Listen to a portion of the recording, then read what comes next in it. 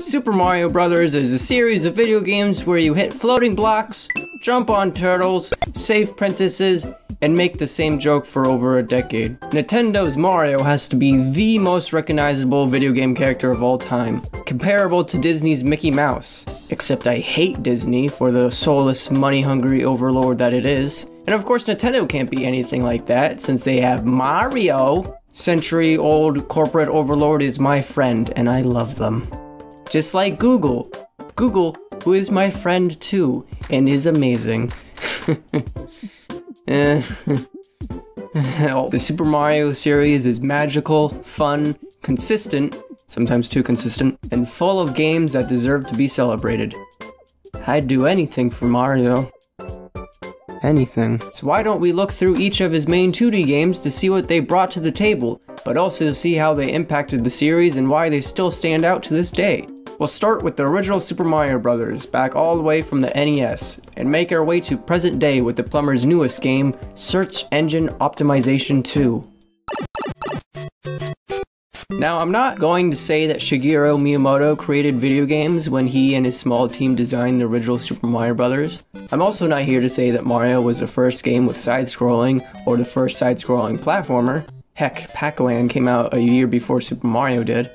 God, that game sucks though. But what they did create was something truly captivating that stuck out in the gaming landscape at the time. Super Mario Brothers is a game about a short, chubby Italian man going through a strange array of obstacle courses in order to retake fortresses in order to get to the ultimate goal of saving Princess Toadstool from the clutches of King Koopa and his black magic. This short, chubby Italian man who is also killing innocent toads along the way had been turned into floating blocks. This has never been brought up again in the history of Mario, by the way, and neither has this elusive Mushroom King that's apparently the dad of Princess Toadstool. Alas. Before Mario's big focus was on platforming, it was apparently on shooting, and Mario was going to have guns like rifles and beam guns. But they decided against that, thank god. I can't imagine Mario with a gun. What makes this original game so special is that it manages to capture the essence of adventure as you explore a diverse kingdom. You'll be going through bushy plains with mountains in the background, dark underground caverns, or mushrooms that reach to the sky. You'll be swimming through entire oceans, you'll be going through day and night, you'll be climbing into the very heavens until the last level of each of the eight worlds where you'll face one of the King Koopa's castles totaling to 32 levels of pure platforming bliss. Rather than just throwing enemies and other obstacles about at seemingly random, we have carefully crafted memorable levels that still stand out over 30 years later. Trying to impede on your journey are obvious faces that any one of us would be able to recognize, like Goombas, Koopa Troopas, Cheep Cheeps, Hammer Brothers, and so on. Enemies aren't the only thing that keep you on your toes as you play. The game also incentivizes looking around for secrets or power-ups. These could be as simple as certain blocks that may give you an ever helpful fire flower, or they could be hidden invisible blocks or pipes with coins that may give you the extra lives you will need in order to reach the end of the game. Since, you know, this was back when uh, lives meant something. If you look around hard enough, you'll be able to find areas that allow you to skip ahead a few worlds. These were good for players either trying to get through the game as quickly as possible, or for players who were trying to get back to a certain point in the game after they got a game over. Because not everyone knew you could just hold the A button on the title screen to get back to the world you got game over on. Mario's controls are based off of him gaining momentum by running. Something kept in mind in the level design so that skilled players would be able to easily run past every obstacle. This would be something to help incentivize multiple playthroughs as you try to learn the course designs and how best you can get past them. Even though some people may be spoiled by Mario's later games that do have superior controls, may find this original outing to be a bit stiff in comparison, the two concepts of control and design were well thought out and work in harmony together for this original game. Miyamoto put a lot of thought into the first level and how the game would quickly teach things to the player on how to play, considering everything the player would be thinking and feeling. And this mindset would also be present in how he would go on to design the rest of the game, with such careful attention to the craft. As a kid who grew up with the NES original, since I had one of those Chinese bootleg plug-and-play consoles with pirated NES games on them, don't tell Nintendo. It felt like there were endless possibilities as I went through the levels. It just felt so magical and those memories will forever stay with me. I've played this game so many times through its many different forms that it's muscle memory just going through the entire game.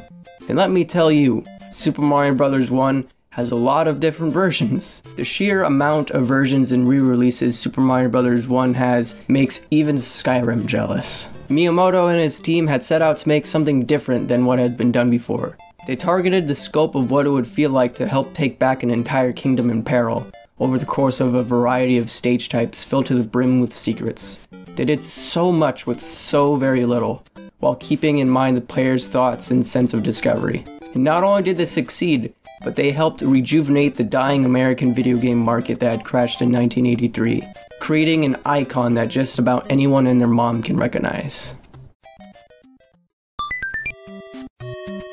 So naturally, the original Super Mario Bros. was a huge success, obviously. To capitalize on this sudden interest the Japanese people had with Super Mario, Miyamoto and his team crunched for a sequel within the span of merely four months. As such, the game, well, it looks and plays nearly identical to the first. There were some slight tweaks to the physics of the game and there were some graphical alterations here and there, adding slightly more detail.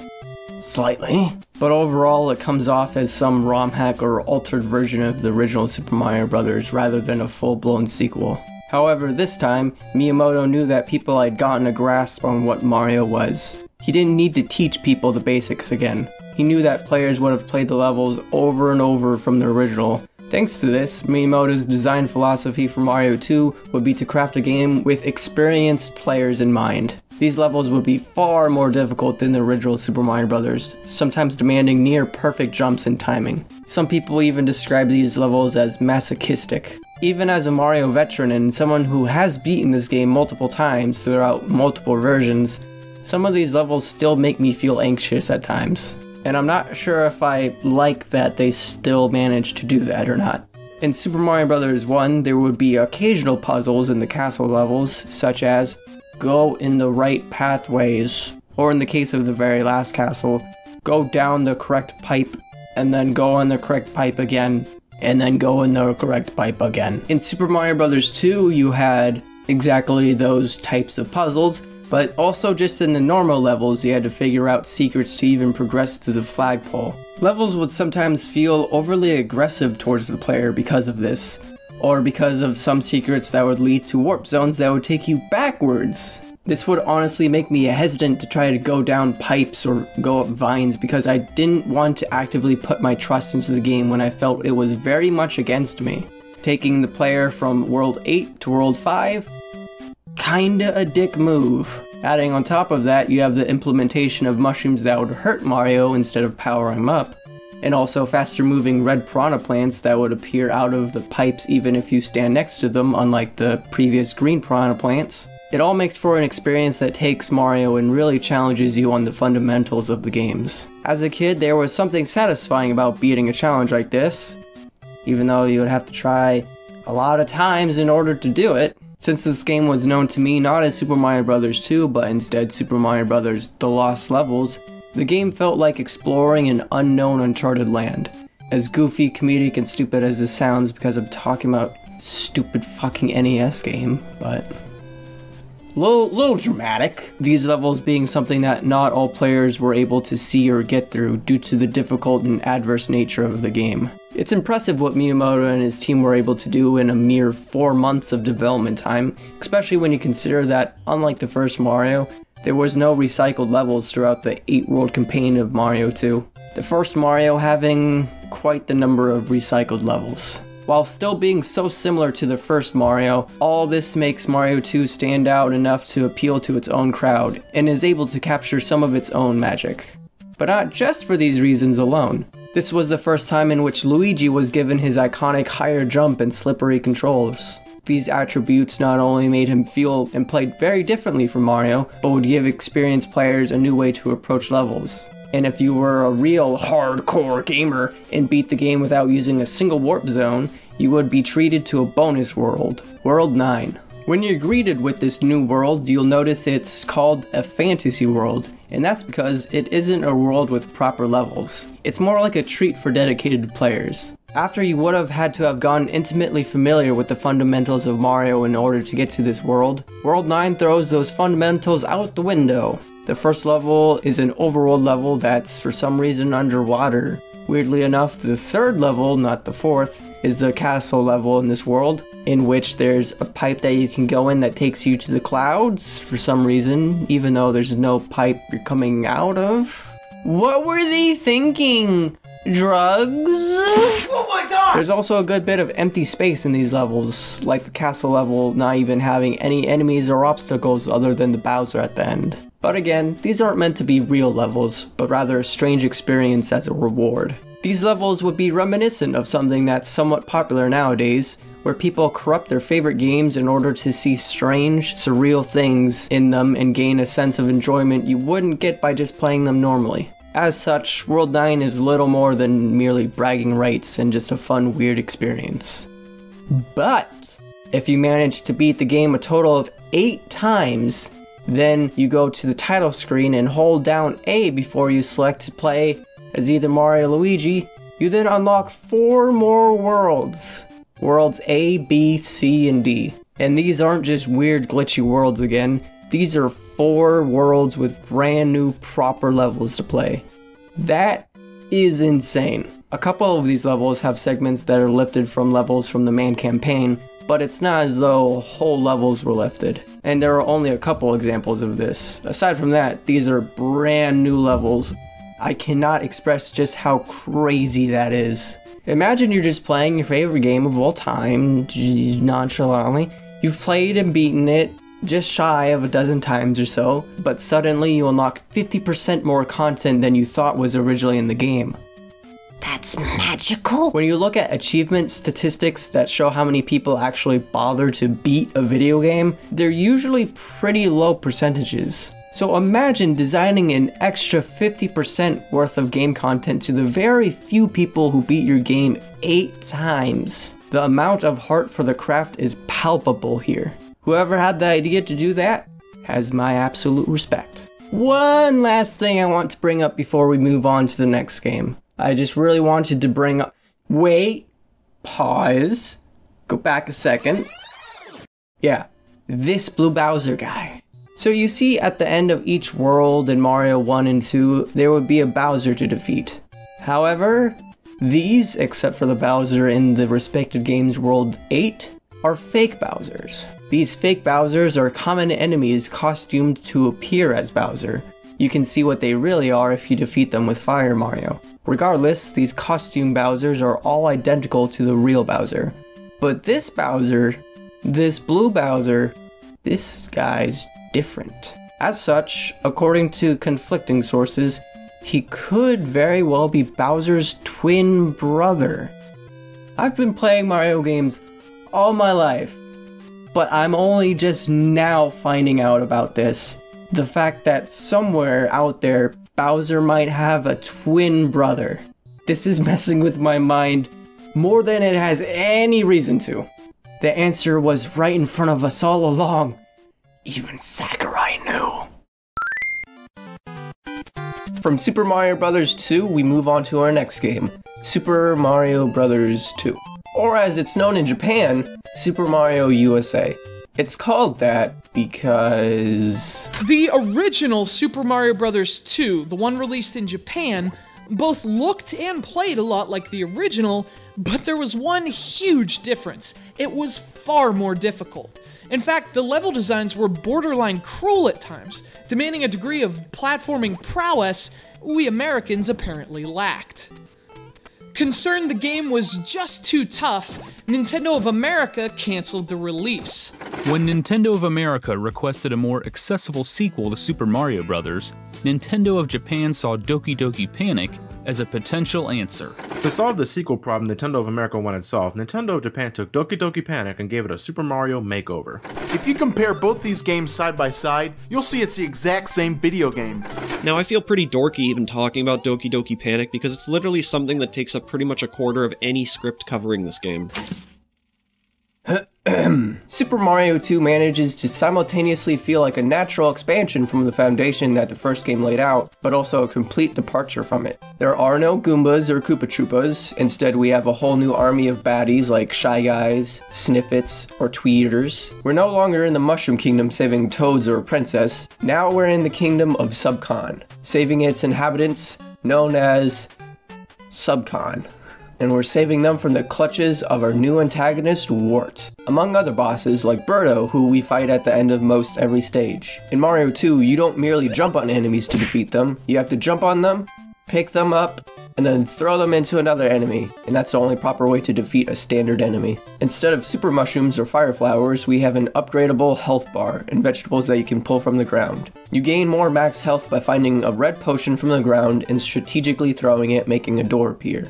Another side of this door is a sort of parallel dimension, where if you enter from the right spot, you can find mushrooms that add one more heart to your max health. Although your health goes back to 2 by the time you enter a new level, so you'll always be on the search for more mushrooms. Some of these mushrooms can be annoying to find and make you feel like you just wasted a potion if you're not able to pick the right spot for the door, but there are typically cues in the level design to give you hints at where one might be. In this parallel dimension, what would normally be vegetables in the normal world becomes coins that you can use in a slot machine minigame after every level, and this gives you a chance to get more lives. There are also mushroom blocks, which can be used as either weapons or platforms to get higher. Instead of getting invincibility stars out of question blocks, you have to collect 5 cherries to then unlock a slowly ascending starman that you can hopefully nab and isn't just stuck off screen, just in a wall. There are no pipes in Mario 2. Instead, there are vases in which we can go in instead to find various items. Or in certain cases, working in tandem with a well-placed potion, some vases may work as a warp zone, springing you ahead a few worlds into the game, much like Mario 1's warp zones. You've probably noticed in the gameplay shown I have not been playing as Mario, and that's because in this game, you have a selection of four playable characters, and each have their own attributes. Mario is the most basic and well-rounded playstyle, with his jump and speed being average. Luigi is a bit more slippery than Mario, but jumps higher. Toad can hardly jump worth of anything, but he's incredibly fast. And Peach is slower, but has her floating ability that makes her go through the levels much easier. I've heard others say that for people who know the game inside and out, that Toad and Luigi are the superior characters to play as to get through the levels as efficiently as possible, but I don't care. I will always play as Peach. Her floating ability may make some of the platforming bits child's play, but she's simply just the most fun to play as out of the four. Regardless, for a game released in 1988, it's impressive to see a cast of playable characters that are tuned to noticeably different playstyles. Level design philosophies have also changed a bit, now that there were some advancements in the understanding of the NES hardware. Before, in Mario 1, levels would mostly consist of one singular section, there may be one or two extra smaller sections, but the main level would only be one long stretch to get all the way to the right. But now, Mario 2 incorporates several sections for a single level, making them much lengthier now. Rather than having only horizontal levels, some portions of levels may also be vertical now. These vertical sections allowing the player to jump between the left and right of the screen as needed as well. All this would add whole new possibilities for level design the original Mario just wasn't capable of. As these levels are now longer, they removed the timer from the original game. This would help the player go at their own pace as they explore, and in some levels, they might be able to find multiple paths that lead to the same end. Not only that, but the number of levels goes down from the original 32 to 20 levels. That may not sound like a lot, but thanks to the level length and difficulty, this feels like a good amount of levels as the game doesn't overstay its welcome. While the original NES version of Mario 2 has its own charm, the best version of the game is by far the 2001 release Super Mario Advance on the Game Boy Advance. This would take the base game of Mario 2 but add so much more polish to the experience. On top of the obvious graphical upgrades, they added more enemies, 5 collectible ace coins to every level, a brand new boss, and the ability to rip off red and green Birdo's bow. Why does that last one matter at all? I don't know. It doesn't. I just like pointless polish, okay? They also add in way, way more replenishable hearts, which makes the game much more welcoming for beginners, but for me, I had no idea what to do with all the hearts the game would just keep throwing at me. I would have appreciated a harder difficulty mode to offset this and get rid of most of them, but a hard mode in Mario game? That's hard to make apparently because we don't have it ever. But it would be great because I also had way more lives than I knew what to do with as well. I think I was pretty safe from ever getting a game over. After you beat Super Mario Advance, you're given the extra quest to go find two Yoshi eggs in each of the levels. All of these eggs exist within the parallel dimension behind the red potion doors, and can be a bit tricky to find, but this gives the players a reason to keep playing the levels over and over again. They also added this blue spike thing that does whatever that is. You can't kill it, and touching it at all hurts you, of course, because it's a gigantic spike. But why is it here? It only appears once in the entire game, in this particular vase, in this one specific level. But it doesn't even act as an obstacle. You would think it's there to poke at a player from underneath as they ride the Ferris wheel, but it's not even timed to properly pierce through the platforms. So it just sits there, presumably waiting for the player to just walk into it. It's rather baffling to me why they bothered to make it and put in here at all when it accomplishes astonishingly nothing. Super Mario Bros. 2 is pretty split in the fan base. Some love it, some don't like it at all. My editor, in fact, seems to kinda hate the game. Kane, would you care to come in and tell us why you don't like it? Because it feels like a knockoff. It doesn't even feel like a real Mario game. It's different and icky and Okay. weird, and it's just Alright, I get. I Moving on. Regardless of the split, it's undeniable that it still held a strong influence on the Mario series as a whole. Without this strange little diversion from the norm, we never would have gotten now iconic enemies including, but not limited to, Shy Guys, Pokies, and Bob-ombs. So even if you don't like Mario 2, Kane, No, it's not even that I don't like it. It's I just the feel it's that it- only appropriate to at least respect the game for bringing in more creative enemies into the series. It's just a shame we never see Wart again in the history of anything, except for a reference in Link's Awakening. But I guess it does make sense when you consider that after you defeat Wart, he's bleeding out of his eyes before a whole society of fairy people beat him to a pulp. Just kidding, it was just, just, just a dream. It was just a dream.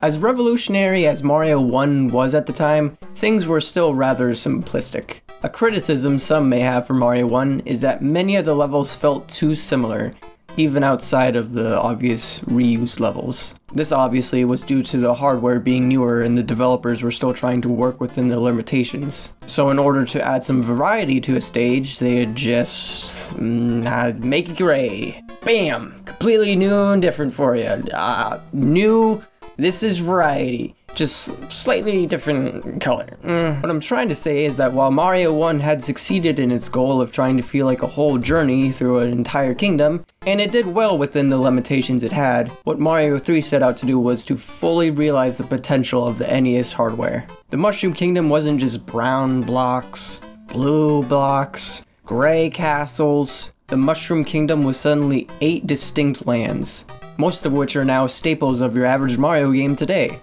We have Grassland, Desert Land, Waterland, Giant Land, Skyland, even though half of it is not in the sky, Iceland, Pipeland, and lastly Bowser's Domain, which is called Darkland, each with their own distinct music, feel, enemies, and gimmicks to make them stand out and memorable. The goal of each world is essentially the same as the first game, of course, going through levels with platforming challenges to get to the end castle to save the kingdom from the dark magic of King Koopa. But now, to cap off each world, we have a brand new type of level airships, with worlds 1 through 7 featuring not Bowser as their boss, but one of the brand new Koopalings, who are King Koopa's adopted children. But there's way, way more to talk about in the ways Mario 3 builds upon the strong foundation Mario 1 created. So let's first talk about Mario's transformations in Mario 3. It wouldn't be a Mario game without them. The series, Super Mario Bros., is after all named after the mustachioed plumber's ability to grow big after consuming power up. From Mario 1 to 3, we have a huge jump in Mario's possible arsenal of items at his disposal. We have the Super Mushroom, Fire Flower, and Invincibility Star from the first game, but we also have the new Super Leaf to turn Mario into a flying raccoon, given that he has enough running space to lift off. The Tanuki suit, which acts as a more superior but rarer version of Raccoon Mario. The Frog suit, which allows Mario to swim underwater with ease. The hammer suit, which gives Mario the ability to throw hammers at enemies, much like the dreaded Hammer Brother himself. And finally, the P-Wing, which allows Mario to fly in the air indefinitely until they either beat the stage or get hit by an enemy. While this last power-up is, of course, the most overpowered, there's only a few given out to the player during the game as rewards, so it balances out. The Super Leaf is the big takeaway item for Mario 3.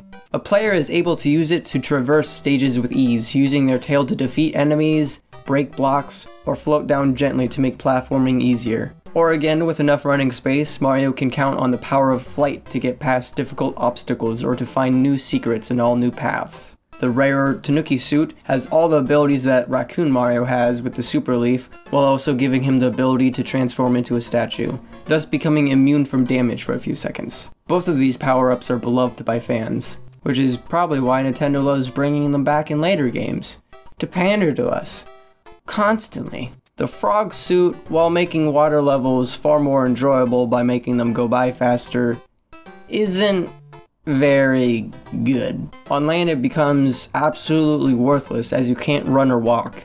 You hop, which is slow and cumbersome to control. It's inevitable that you'll get hit by something and lose it, but that'll only come as a relief by that point. Aside from some water levels and some very specific secrets that require this suit, there's not much reason to use it.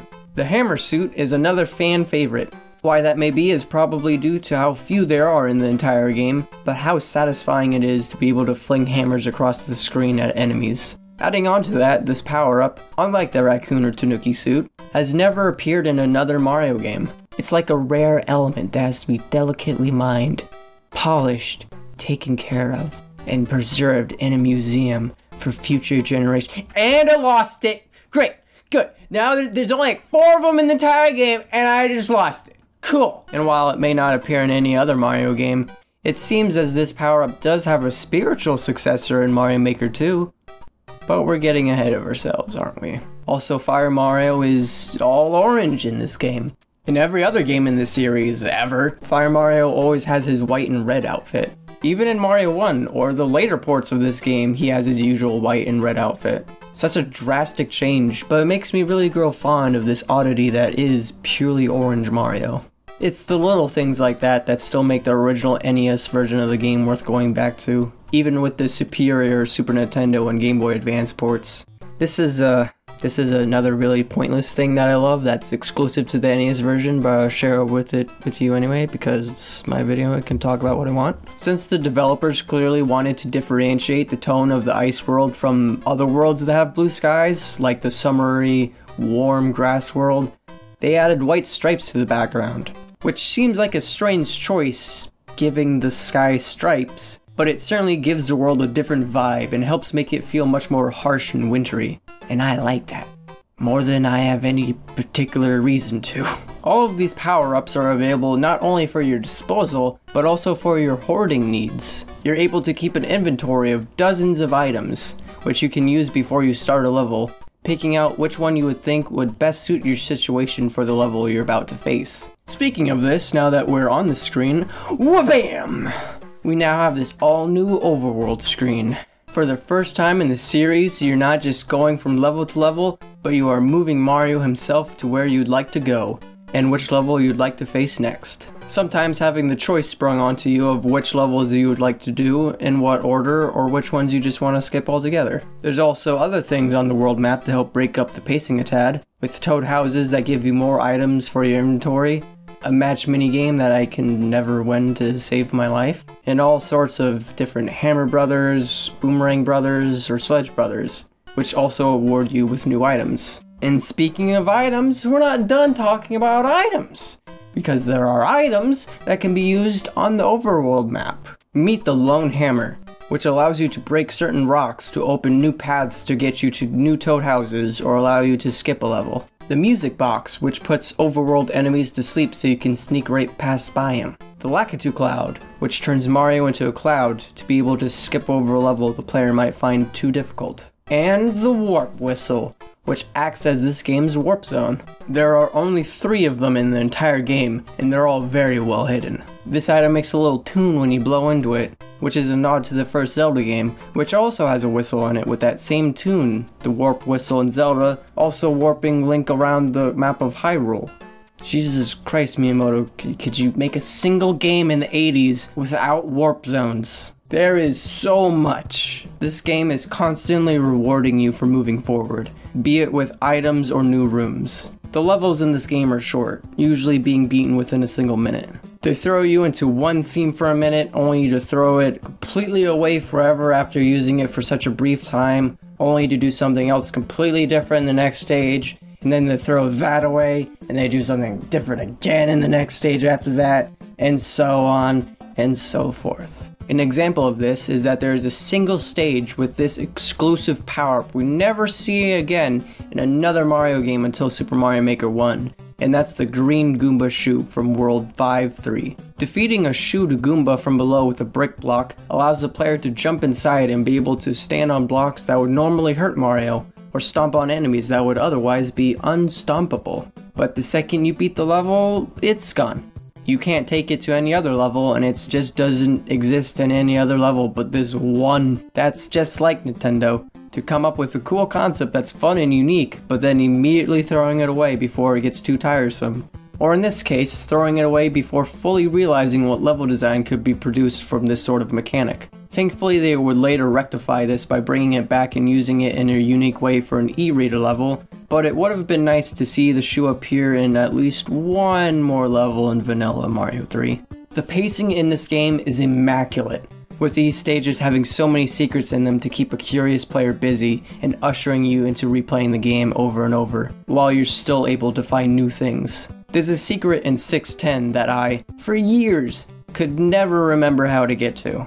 Me, who has managed to memorize most of the secrets from all the 2D Mario games, have up until now gotten stumped time and again by Mario 3. In this one instance, at least. There are enough secrets and alternate paths in this game to make each playthrough still feel fresh. Super Mario Bros. 3 somehow manages to hide its age very well. Aside from some screen flickering that's not present on the Switch emulation of this game, the game holds up remarkably well with its crisp, colorful, cartoony sprites that still look just as beautiful today as they did back then. Super Mario Bros. 3 and Kirby's Adventure remain the best looking NES games out of them all. It's honestly difficult for me to come up with gripes for this game, even minor nitpicks. It does so much to build off of what the original Mario did, while pushing ahead with so many new things that have become standard for Mario games to come. I suppose if I were to come up with one gripe, it would be that the bosses are too easy, aside from King Koopa, who still is a unique ending boss in how they executed it. But Boom Boom, the boss for every fortress level in the game, is an absolute joke. You can kill him without a problem in mere seconds. Some Boom Booms have different forms, like growing a pair of wings, but when you defeat them before they even have a chance to do anything, it's hard to take them seriously. But we cannot end this section on Mario 3 without talking about the two super secrets this game has. A couple of features of the game so stupidly obtuse to find that you could easily play through this game a dozen times and not even see either of them. That would be the White Toad House and the Coin Airship. For such small things that so few players would have experienced, or even understand how to unlock, they must be worthwhile, right?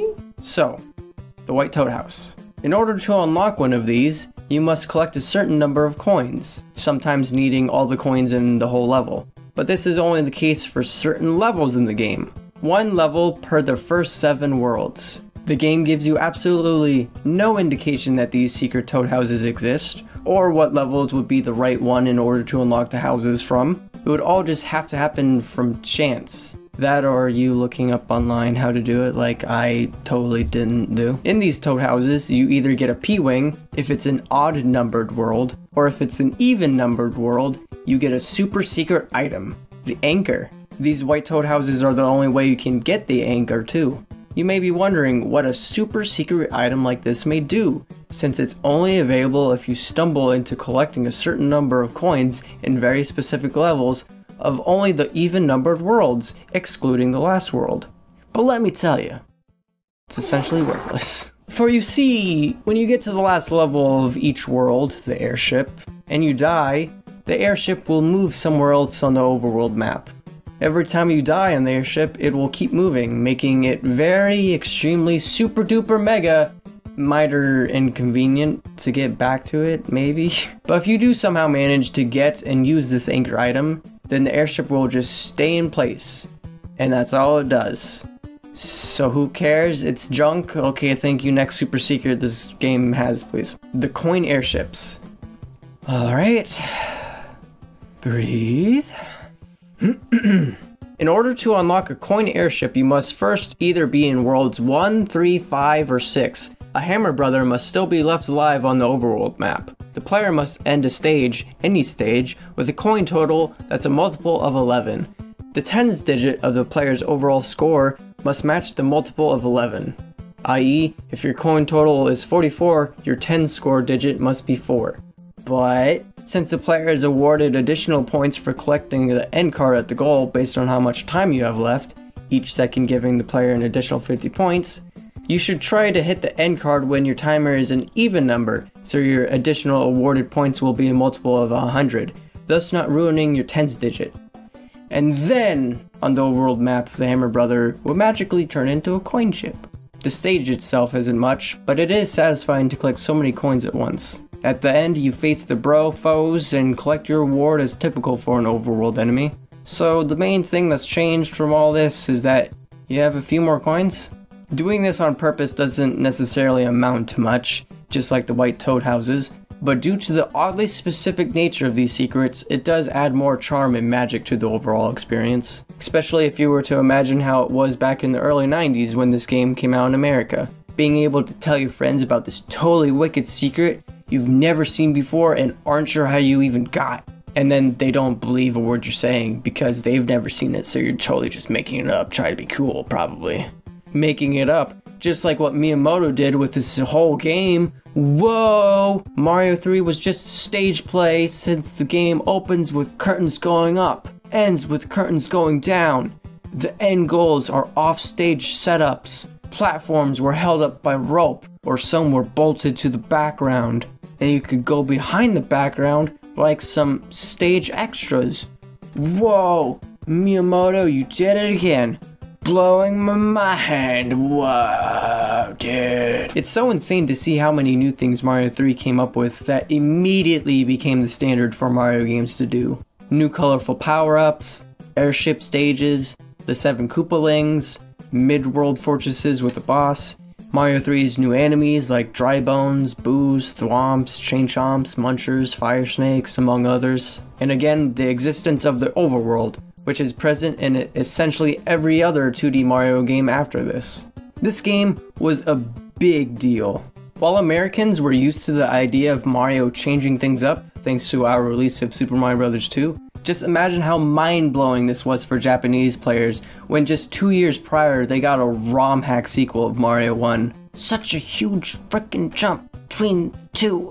Oh my god. There is a lot to Mario 3, and I'm sure I could talk even more about it, but I think I got the gist across to you.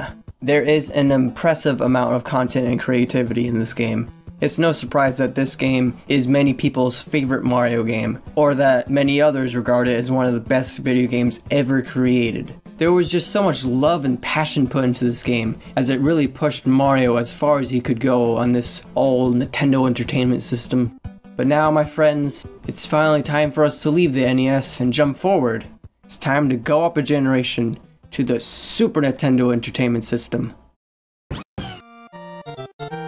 So how do you make a follow-up for a game so revolutionary as Mario 3, where you go to 8 distinct and memorable worlds, which housed many secrets of wonder and excitement? You make a game based around the very idea of exploring an extensive new world with longer levels which had even more obstacles and even more secrets, all the while having to get the game out the door as quick as you can but we'll get to that. In Mario World, after you start a new game and get past the intro screen, the first thing you're presented with is this cramped overworld. It's very reminiscent of what an overworld map in Mario 3 would look like. But after you beat the first boss and step off this initial island, you get to see just how big the overworld really is. This is when you knew you were in for a real adventure. the place of your adventure being known as Dinosaur Land, which fittingly has dinosaurs. It also has a forest of illusion, that of which seems oddly similar to a certain other sort of mysterious woods. Football players that throw baseballs, four differently colored switch palaces to discover,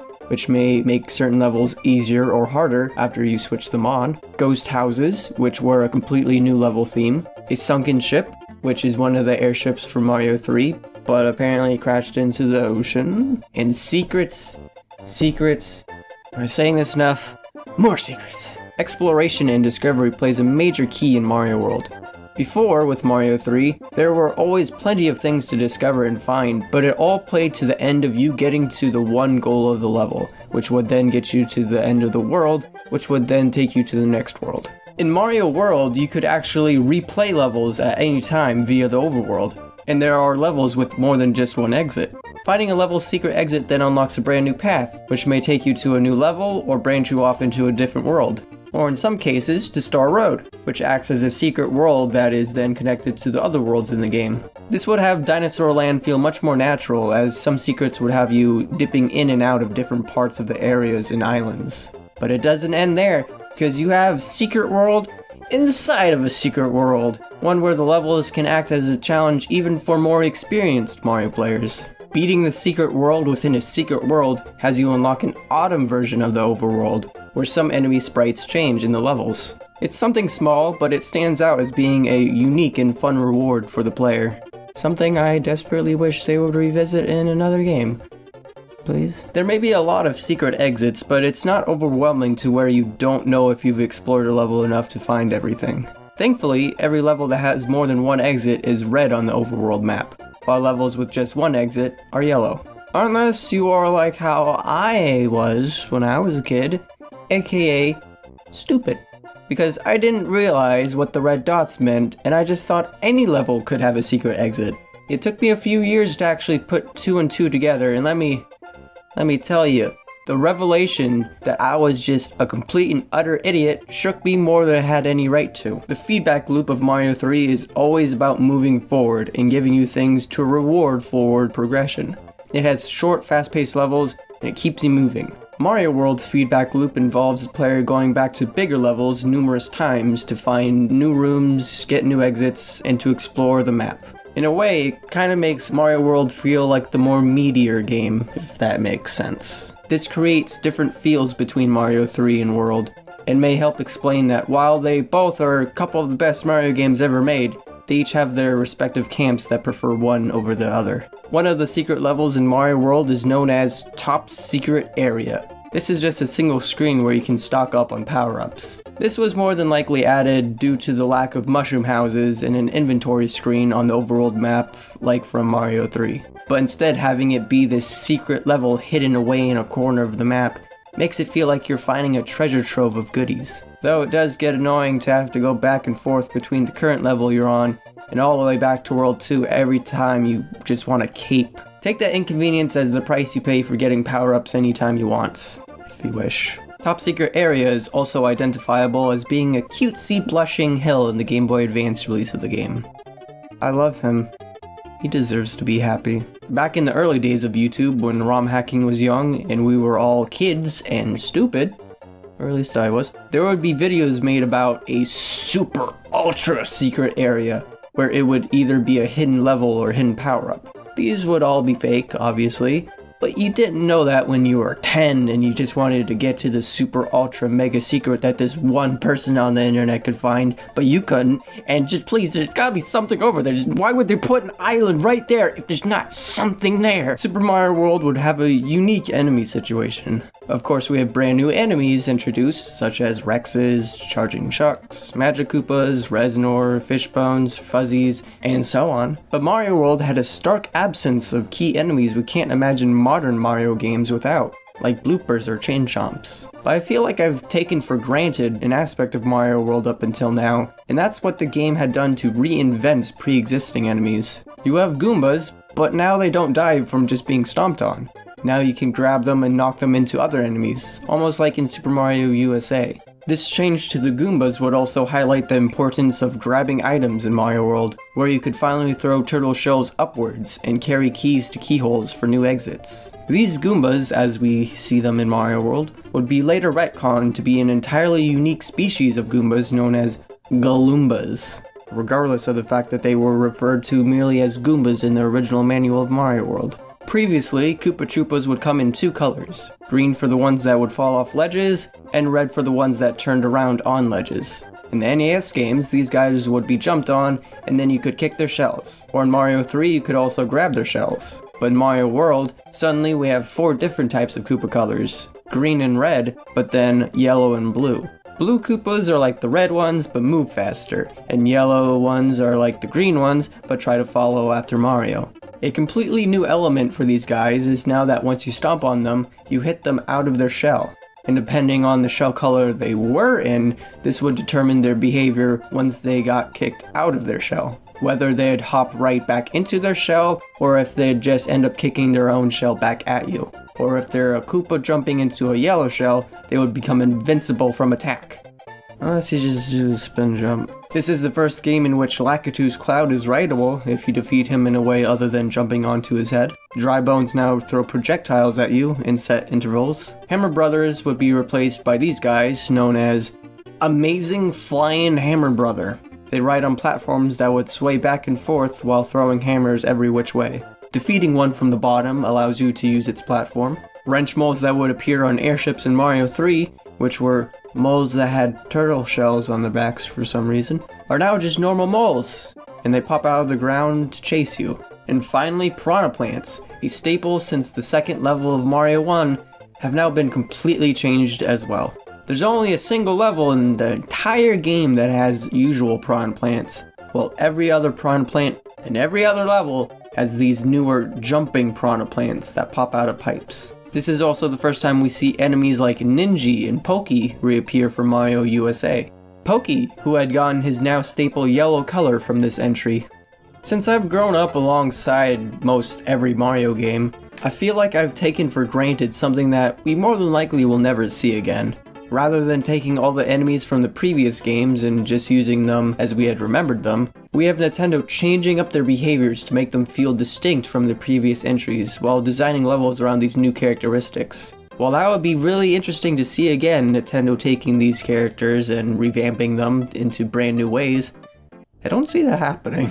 For this game, Mario's number of power-ups goes down a bit, focusing largely on Fire Flowers or the new Cape power. Mario World may not have as many power-ups as Mario 3, but would go on to be the first game to star Mario's dinosaur companion, Yoshi. Yoshi had been a feature Miyamoto wanted since the very first Super Mario Bros., but he knew that the NES hardware wasn't capable for something as advanced as a writable companion. Hey, wait a minute. There's four different Yoshi colors, each having their own ability when they swallow a shell. Yellow Yoshi is the worst one, just stomps around.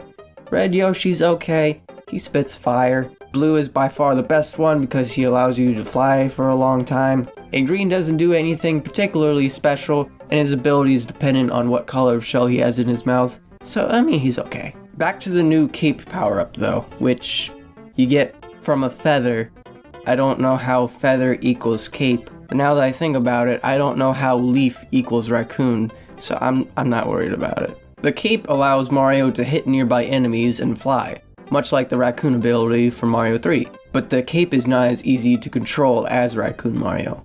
You have to actively control Mario's ascension at certain intervals in order to continue getting height and airtime. This makes it as powerful as Raccoon Mario and as OP since you can fly over levels, but it's an ability that a player has to learn to use rather than just using it from the get-go.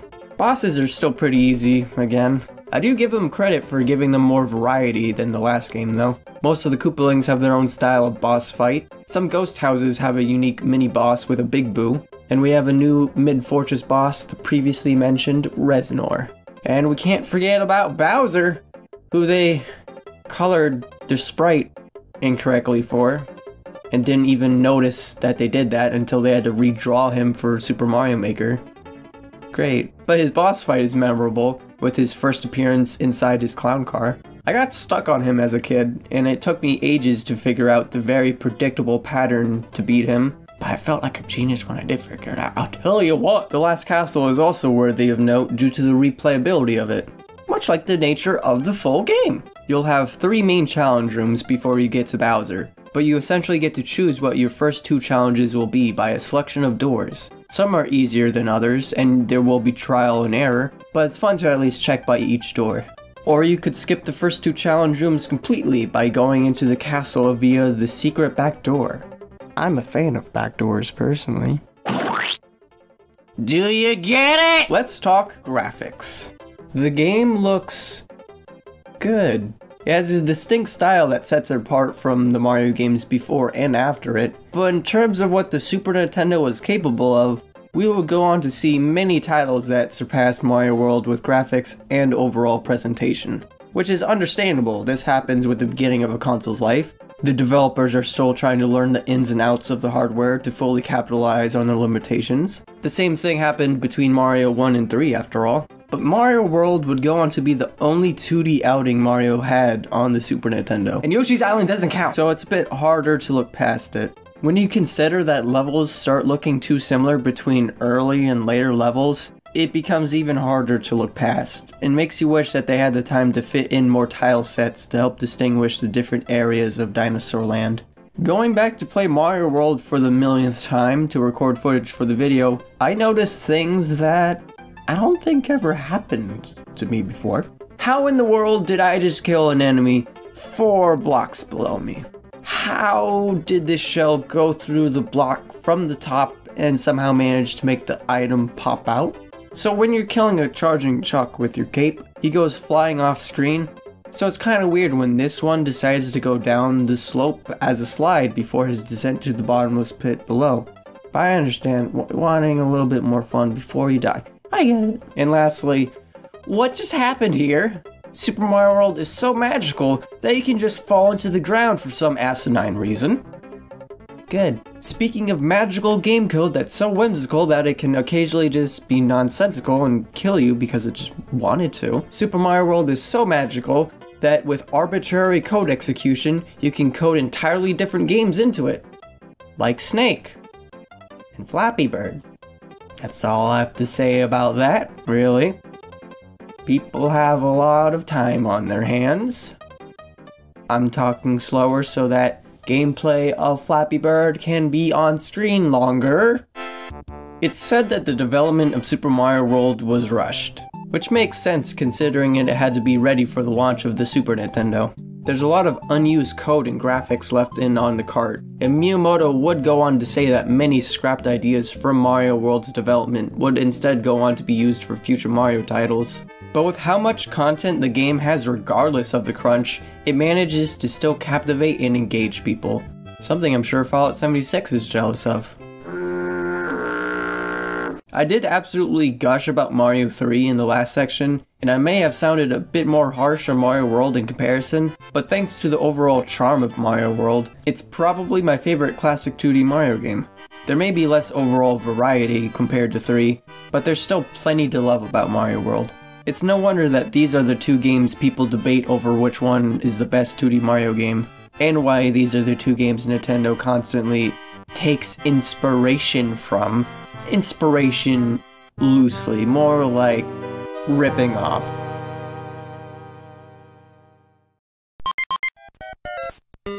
All of the games we've been talking about up until now have been on the home console front. But Nintendo, of course, wasn't just working on their NESs or their SNESs. They had their game NESs as well. Two 2D Mario games were made for the Game Boy, those being Super Mario Land and Super Mario Land 2.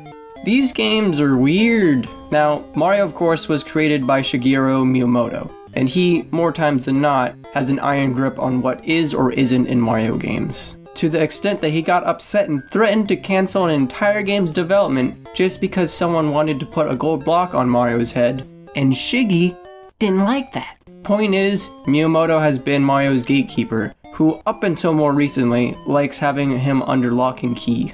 But Around the development of Mario Land 1 and 2, Miyamoto had been far too busy with other projects to be the head of development. As such, it would be Gunpei Yokoi, the guy behind games like Metroid, Kid Icarus, and the Game Boy itself, who would take the leading role in developing the Mario Land series. The Mario Land series can be best illustrated as Miyamoto being an overbearing parent who goes out of town for the weekend, so the kids decide to go crazy and have a party when they're out.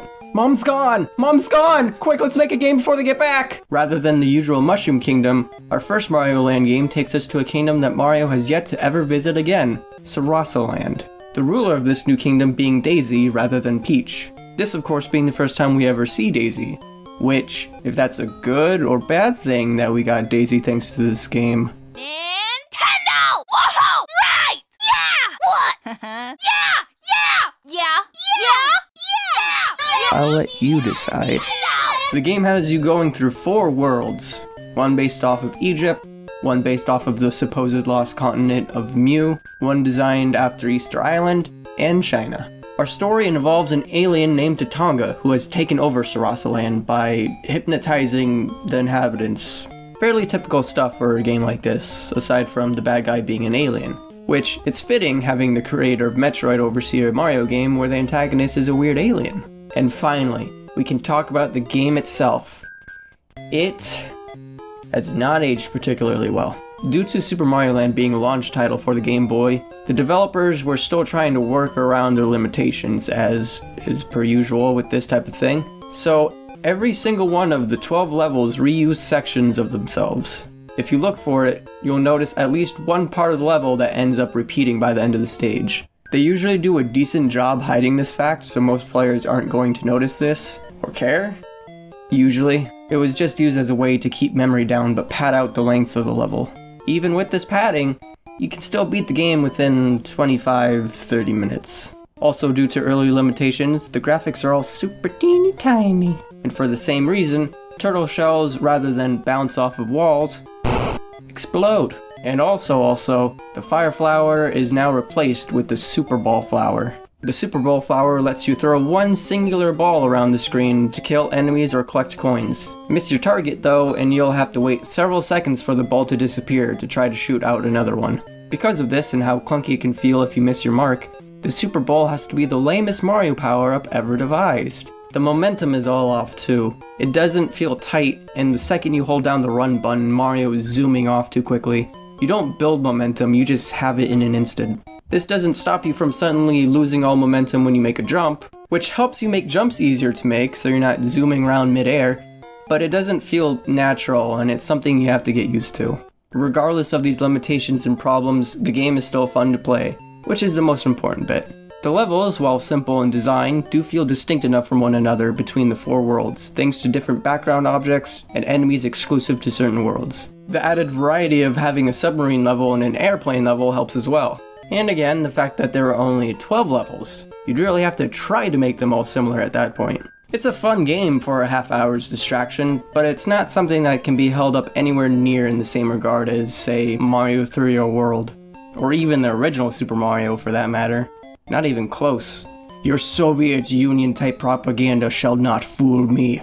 I see through the lies. The sequel, Mario Land 2, on the other hand, acts as a complete 180 for Mario Land 1. Immediately you can notice this by the larger, more detailed sprites and environments. And they actually programmed shells to be kicked this time. It's not the smoothest looking thing, but it works. After getting a good look at the game, the second you start moving around, you'll notice that they fix the momentum. It's not quite there on the level of either Mario 3 or World, but it's an improvement for Mario Land by leaps and bounds. Mario Land 1 was pure distilled platforming through simple horizontal stages that only go right. You may get thrown one weird little gimmick, but don't count on anything particularly outstanding. Whereas Mario Land 2 manages to consistently dish out creative new level themes and tile sets, giving even the far more advanced Mario World a run for its money. In Mario Land 2, you'll be going to 6 zones in order to defeat Wario, who has his first appearance ever in this game. Wario has invaded Mario's mansion, which he inexplicably owns, on his own private island, that we never see or hear from ever again. So rather than the usual saving a damsel, Mario has a brand new goal in Mario Land 2. In these six different zones, you have memorable levels that include, but are not limited to, an anthill, inside the plumbing of a house, Japanese temples with yokai spirits, inside of a whale, ball place, and even space. I can't even imagine Mario in space. You have weird enemies that don't appear in any other Mario games too, like a shark with punching gloves, a fish cattle thing, and ants. Ants! So many ants. And unlike Mario's before or after, you actually get to choose the order you wish to play these six zones from the very start, making multiple playthroughs fun as you're able to go to the levels you want at the pace you want. Replayability being important as it is a smaller handheld game. Thankfully, we also have the return of my favorite secret levels. These secret levels aren't fully realized levels though, sadly. They can largely be summed up as smaller areas that have more coins than usual and maybe a power up for you. There could be a handful of enemies sprinkled in there, but it's nothing too noteworthy like Mario World secret levels. This makes me mostly forget about finding the secret exits on levels on return playthroughs, which is one of the more disappointing aspects of the game. Power-ups aren't anything particularly special, but they get the job done. Mushroom, Fire Flower, Bunny Ears. The bunny ears act like Raccoon Mario from Mario 3, discounting the ability to fly. The Fire Flower is given more of a purpose this time around though, now that in levels you can find blocks that can only be destroyed by throwing fireballs at them. These blocks commonly being in the way of hidden rooms and items. A concept originally seen in Mario 3 with ice blocks that you could melt, but those were limited to only the ice themed levels. After defeating each boss in the six zones, one of those bosses being Tatanga as a nice little cameo, you unlock the ability to reach Mario's Overrun Mansion, which acts as the last level. In it, you will go through a three story platforming gauntlet, each section having its own unique traps and challenges, before you get to a three phase Wario fight. Since the game allows you to go to any of the six zones in any order you choose, they're all roughly around the same difficulty. That's something that the developers admit to having some trouble balancing. So it's fair to say that this last level does feel like a sudden difficulty spike. This was something that really stumped me as a kid, as you would have to learn how to react to so many different types of traps, even towards the end of the level. Regardless, it has to be up there as one of the best ending stages to any Mario game, being a good last challenge for the player. The game has a length that's roughly 3 or 4 times longer than Mario Land 1, but still only amounts to about half the length of its highly praised console counterparts. For those of you lost in my nonsense right there, what I'm trying to say is the game is going to last you roughly 2 hours. But for 2 hours, you get a finely crafted game that clearly had a lot of thought and love put into it. A Mario game that honestly doesn't get the recognition that it should, as people seem to mostly forget about the Mario Land games. The magic of both of these games comes from how obvious it is that Miyamoto was not involved in them. This not only shows how tight of a vision Miyamoto had on his original Mario projects, but also what other developers could do with the Pudgy Plumber. These games would show ideas for Mario that we might never had seen if Miyamoto just happened to have the spare time for them. It's weird to think what Miyamoto would have created instead, but I'm more than happy with what we got if it means that we can live in a world where Mario gets to explore the innards of a fully aquatic, placental marine mammal. Having Mario in your pocket was an insane idea, and it still blows my mind the jump of quality between Land 1 and 2, showing how well the development team had learned the ins and outs of the Game Boy by the time they got to making Land 2. And if it weren't for these games existing and wanting to try to do things a bit differently, we wouldn't have such beloved characters like Wario. Or Wario. As consoles moved on to more 3D experiences, we wouldn't see a 2D Mario game on either the Nintendo 64 or GameCube. We also, oddly, never saw a new 2D Mario game on the Game Boy Advance either. Instead, the Game Boy Advance had numerous ports of older games, which may have been a shame for some, but for people such as myself, who were too young to have grown up with a NES or SNES, it was the perfect opportunity for us to catch up on the classics. 1992 was the year that Mario Land 2 released, and it wouldn't be until 2006 that we would get the next real, newest 2D Mario game, of which was developed for the Game Boy Advance's successor, the Nintendo DS. This game, which would go on to spark its own specific sort of series consisting of four games. But this is where we get into a bit of a problem, in that during our adventure on this first DS title, we go through Grass World, Desert World, Beach World, Forest World, Ice World, Mountain World, Sky World, and Bowser World. And then in the sequel, New Super Mario Bros. Wii, we go through Grass World, Desert World, Ice World, Beach World, Forest World, Mountain World, Sky World, and Bowser World. And then in New Super Mario Bros. U, we have Grass World, Desert World, Beach World, Ice World, Forest World, Mountain World, Sky World, and Bowser World. Oh, but don't worry. New Super Mario Bros. 2, the third game in the series, decided to mix things up a bit. Grass World, Desert World, Forest World, Ice World, Sky World, and Bowser World. The other two worlds kind of just stopped caring about themes and decided to do whatever they wanted. But then you might be wondering how, if all of these games had very similar level themes, how did they differentiate from one another? And I'll tell you. New Super Mario Bros. Wii brought in local four player co op, which wasn't fun unless you were playing with only one other person, and brought back the Koopalings to reprise their roles from Super Mario Bros. 3 and World as main bosses. They also added in the new power ups the propeller suit, the ice flower, and the penguin suit. New Super Mario Bros. 2 kept the Koopalings again, brought in the Raccoon Leaf power up from Mario 3, the mid boss Reznor from Mario World, and added the Golden Flower, which lets you turn things into coins, but the developers couldn't really figure out a way to naturally insert this mechanic into the game, so you barely ever even see this power up, but we'll get to that later. It also added in a general feeling of soulless dread that you would hope to never be in a Mario game, but here we are.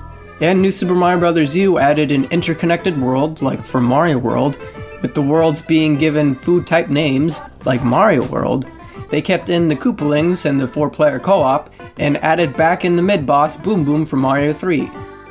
And lastly, it added the new power up, the Squirrel Suit, which personally I love this power up, but it really is just another form of flying and or hovering. So overall, if you cannot tell, the problem here is that even with the ways that the games tried to differ from one another, they couldn't help but continue to cannibalize themselves with returning ideas. And when they did come up with brand new ideas, that didn't mean that they were very good or particularly original ideas. And again, as I just mentioned, these games would not only cannibalize old games of the Mario series, but they would also cannibalize each other, as they would share the same general aesthetics, story, music, tile sets, models, and even level concepts. So it gets really hard to distinguish one from another, and that is not how a Mario game should be. I know we came into this video meaning to talk about the magic and whimsy of the Mario series, but well, I guess I felt Mario and the quest for safe, stagnant, and immediate brand recognition wasn't the most appealing of video titles. Though, don't get me wrong, there certainly is fun to be had in these games. New Super Mario Bros. DS obviously gets easy points for just existing since it was the first 2D Mario game in so long. It took some cues from Mario 3 and had you going through eight distinctly themed worlds, each with mid fortresses, with a boss that was always a complete joke, and an end castle with boss. The game actually also took a couple cues from the 3D Mario games as well, adding in moves like wall jumping and triple jumps into Mario's moveset. Since this first game didn't bring back the Koopalings, the bosses seem strange now to look back on. They were unique, and yet very forgettable. I'm glad they tried for something different, but none of them really stood on their own ground to be particularly memorable, considering they were all essentially just bigger versions of normal Mario enemies. Oh, and Petey Piranha was here too for Mario Sunshine for some reason. I never remember that this tank boss exists. Isn't it cute that they brought back the Bowser Bridge from Mario 1 in this game? And then they brought it back again later in the game? And then they brought it back again even later in the game? it's adorable because I get that reference. I see what they did there. Not coming up with a new Bowser fight and just rehashing the very first one ever. get used to seeing this. Although they did do one of the most metal things Mario has ever done to date. having Bowser's flesh completely melt off of his bones after getting dropped into the lava, thus creating Dry Bowser, who would go on to be a playable spin off character in many a Mario spin off games. There's a few new power ups here, being the Mega Mushroom, Mini Mushroom, and Blue Shell. None of them particularly scream memorable Mario power ups. It's always, oh my god, I forgot this game had this, rather than, oh man, why doesn't Nintendo ever bring back the blue shell? Probably because it was a highly contextual power up, only good for getting into a couple secrets in the game, was hard to handle because every time you ran you would start spinning into the shell, which would have you bouncing off into different directions into walls, and the fact that even in a level specifically designed for the blue shell, it still feels completely unwieldy and not fun. Even though I loved it as a kid, but that's just because it was blue, and my mind is simple like that. I like blue. The Mega Mushroom was the big marketing gimmick of the game. I didn't mean for that to be a pun. However, this power up was also very contextual, but even moreover, dull. You would get it every now and again, you'd turn big, you'd run into things for a few seconds, instantly destroying everything in your path, and then it would be over. You can't really design the level around something like this since you just smash into it and break everything anyway, so of course it only lasts a few seconds, but it amounts to nothing more than a brief dopamine rush of destruction, and it doesn't really add much to the game other than, hey, buy the game, it's different because it's got a big mushroom. The mini mushroom had the most utility of the new power ups, which is probably why it's the only one that appears in all four of the new Super Mario Bros. games. Not like he had much tough competition here with that. It makes Mario incredibly small, naturally, and your jumps would be extremely floaty. You bounced off enemies' heads and would have to ground pound to even damage anything. You could run on water, and you could go into mini pipes that any other type of Mario would be too big to get into. You would also need this power up in order to unlock Worlds 4 and 7, unless you unlock World 7 via a warp cannon, but I digress. These worlds would be skipped normally, unless you beat the World 2 and World 5 bosses while being Mini Mario, which was always very stressful due to the floaty jump and instant death nature of the power up. So, in short, while this power up had the most use out of the three new power ups, and would go on to be in the rest of the new Super Mario Bros. games, it always felt like a power down than a power up, one necessary for various secrets in the game. It's not fun. This game would also set the precedent for all the new Super Mario Bros. games that each and every level would have three collectible star coins. The use for these star coins being slightly different among the games. In this game, you would use them to buy access to mushroom houses which would help you out with power-ups and one-ups. Or when you beat the game, you're able to buy different skins for the bottom screen.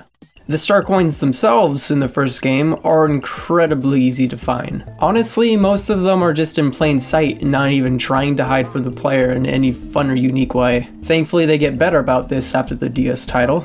After the credits of this game, you're also given a cheat code that unlocks the ability to play as Luigi. He doesn't play any differently at all, but it feels like a fun reward for the player. This code can be used from the beginning of a brand new file as well. This would set a theme for future Mario titles, of using the ability to play as Luigi as a special reward for the player. Giving Luigi a certain sort of appeal of making him feel special whenever we unlock him in our Mario adventures. This DS title is also home of Mario's ugliest enemy design of all time.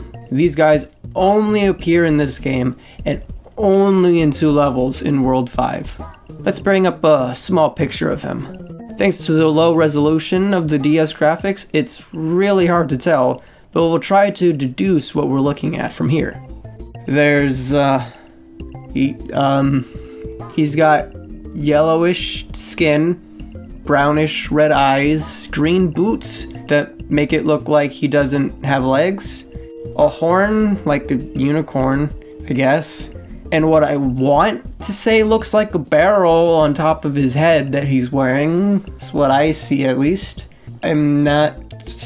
What is this enemy design? For years, I have always been confused by this thing. That is, until now. Why don't we look at a high res version of this guy, hmm? First thing to notice is that it's not a barrel on his head, it's a shell. Secondly, it has just the biggest lips you could imagine. What in God's green earth is this thing? And uh, it's called a Snailicorn. Okay, that. Uh, hmm. I guess that makes sense. Well, don't I feel like a tool for making fun of it now? It's just a strange grab bag of ideas that, in combination with each other, don't really make sense to me. It also doesn't make sense to me why he's exclusive to ice levels. What about this makes him ice themed? It's hard to believe we never see him return in any other Mario games, huh? At the end of the day, New Super Mario Bros. DS has the simplest level design and was made for anyone of any skill level to be able to pick up and play. Due to that, and it being a DS game that doesn't have as much polish as the games after it, you would think I would find this one to be the most underwhelming of the series. But you'd be wrong. We'll get to that in a few minutes though. But first, New Super Mario Bros. Wii. New Mario Wii is essentially more of the same as the DS game while adding in multiplayer. And looking nicer?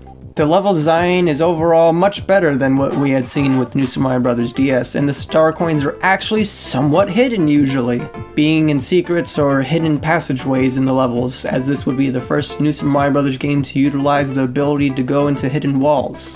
The levels, while having tighter designs, do have a lot more open space, typically with a zoomed out camera to accommodate the possibility of four players on screen at once. In single player, this can sometimes make things feel a bit empty or off. This game did add Yoshi though, in like 6 out of the 77 levels, and you can't take him out of the levels he appears in, which is better than what Mario 3 did for the Goomba Shoe, but kinda makes you wonder why Yoshi was something they marketed the game with if he's barely in the game at all. This game was on the Wii, so Nintendo of course added Waggle! Waggling the Wiimotes mid-air would allow Mario to spin. This would give the player extra distance. It was a very helpful mechanic to use to elongate some of our jumps just enough to correct mistakes. As I've mentioned before, this game adds the Ice Flower. Yes, the Ice Flower. It took them nearly a quarter century after the creation of the Fire Flower, they finally made an Ice Flower. It allows Mario to throw an ice ball that can bounce only once off the ground, but can freeze enemies. Mario can then use these enemies as platforms or throw them into each other. The penguin suit is just the ice flower, but with the additions of making Mario swim really fast in water or slide on your belly when you're on land. It also makes you 35% cuter than usual. Honestly, this is what the frog suit for Mario 3 should have been. Fast mobility in water while also having more application for when you're out of the water. All the while it doesn't completely butcher your movement speed or control when you're on land. Though this does make the ice flower feel obsolete as soon as the player is acquainted with the penguin suit since it's just a superior, more adorable version of the ice flower. After beating the game, you unlock World 9, which is a bonus world with challenging levels that can only be unlocked once you collect all the star coins in the other 8 worlds. This acts as the main incentive to collect star coins in this game, which personally I greatly prefer over having a different picture for the bottom screen that you hardly ever look at. When the game came out, this world felt special because we haven't seen a bonus world like this since Mario World from 1991. There's a little extra bit of magic the game has if you collect 99 lives, which is really easy to do. And that little bit of extra magic is Mario loses his hat. No reason for it, but it's nice, and again, I like pointless polish like this. So overall, New Super Mario Bros. Wii is pretty good. It introduced new gameplay elements and polished up the first New Super Mario Bros. game. Not much else to say about it. If we stopped here, it would be pretty solid. But we don't stop here. We don't. New Super Mario Bros. 2 is the most fine out of the bunch. There's not really much of note about it.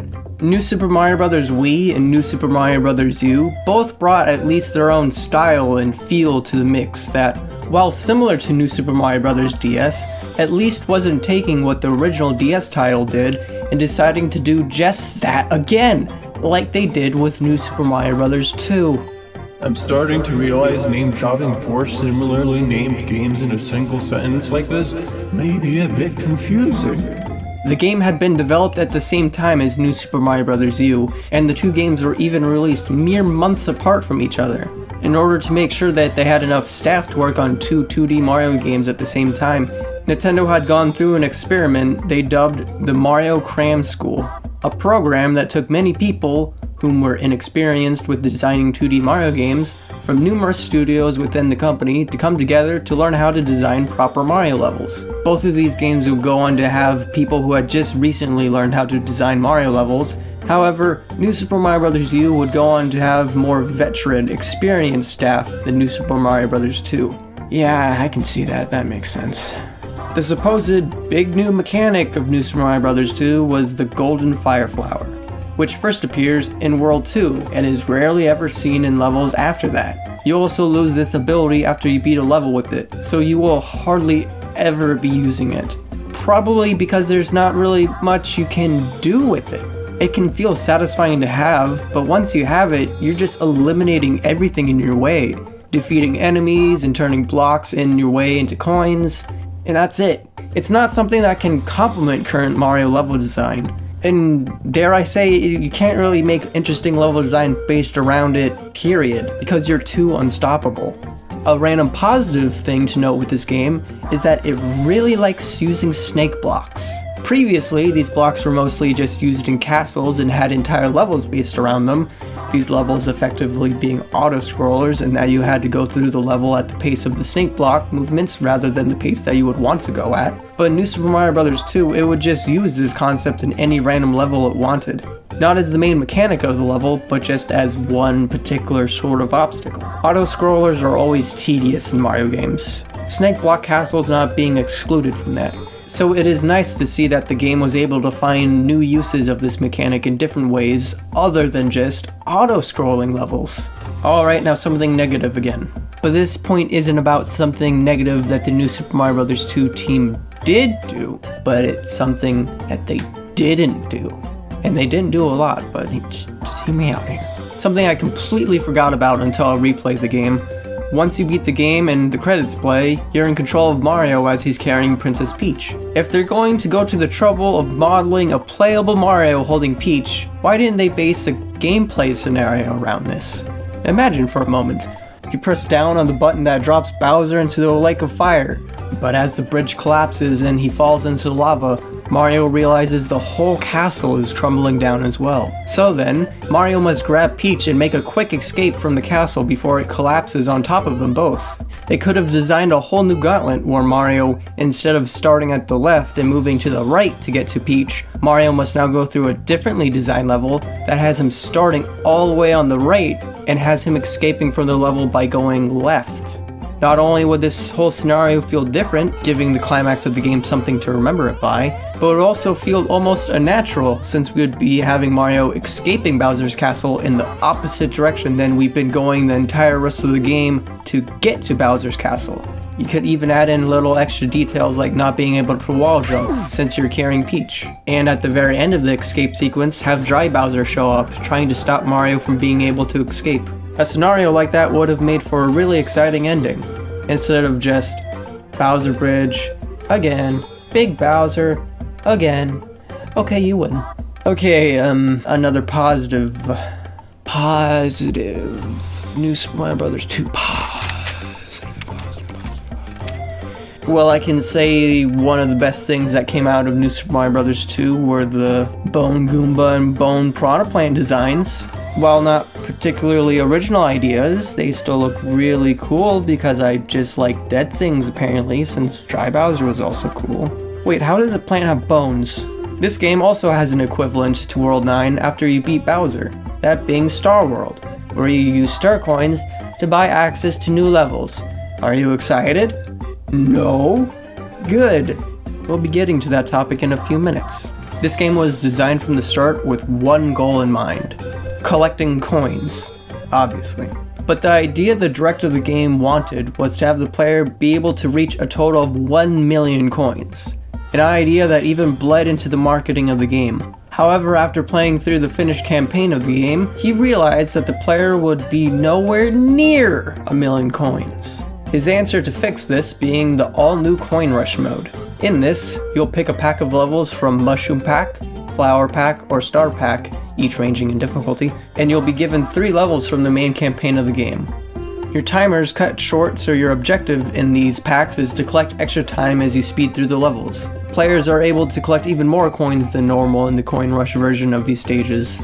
including a times 2 coin multiplier if they get to the top of the flagpole. If you're able to get enough coins, you can reach the max limit of 30,000 coins before you've raced to the end of all three stages. But if you die even once during those three courses, you get sent all the way back to the start of the first course. So while you want to get through these levels as fast as possible while gaining as many coins as possible, you will also have to be careful at the same time. Sadly, I feel like they didn't go as far as they could have with this mode.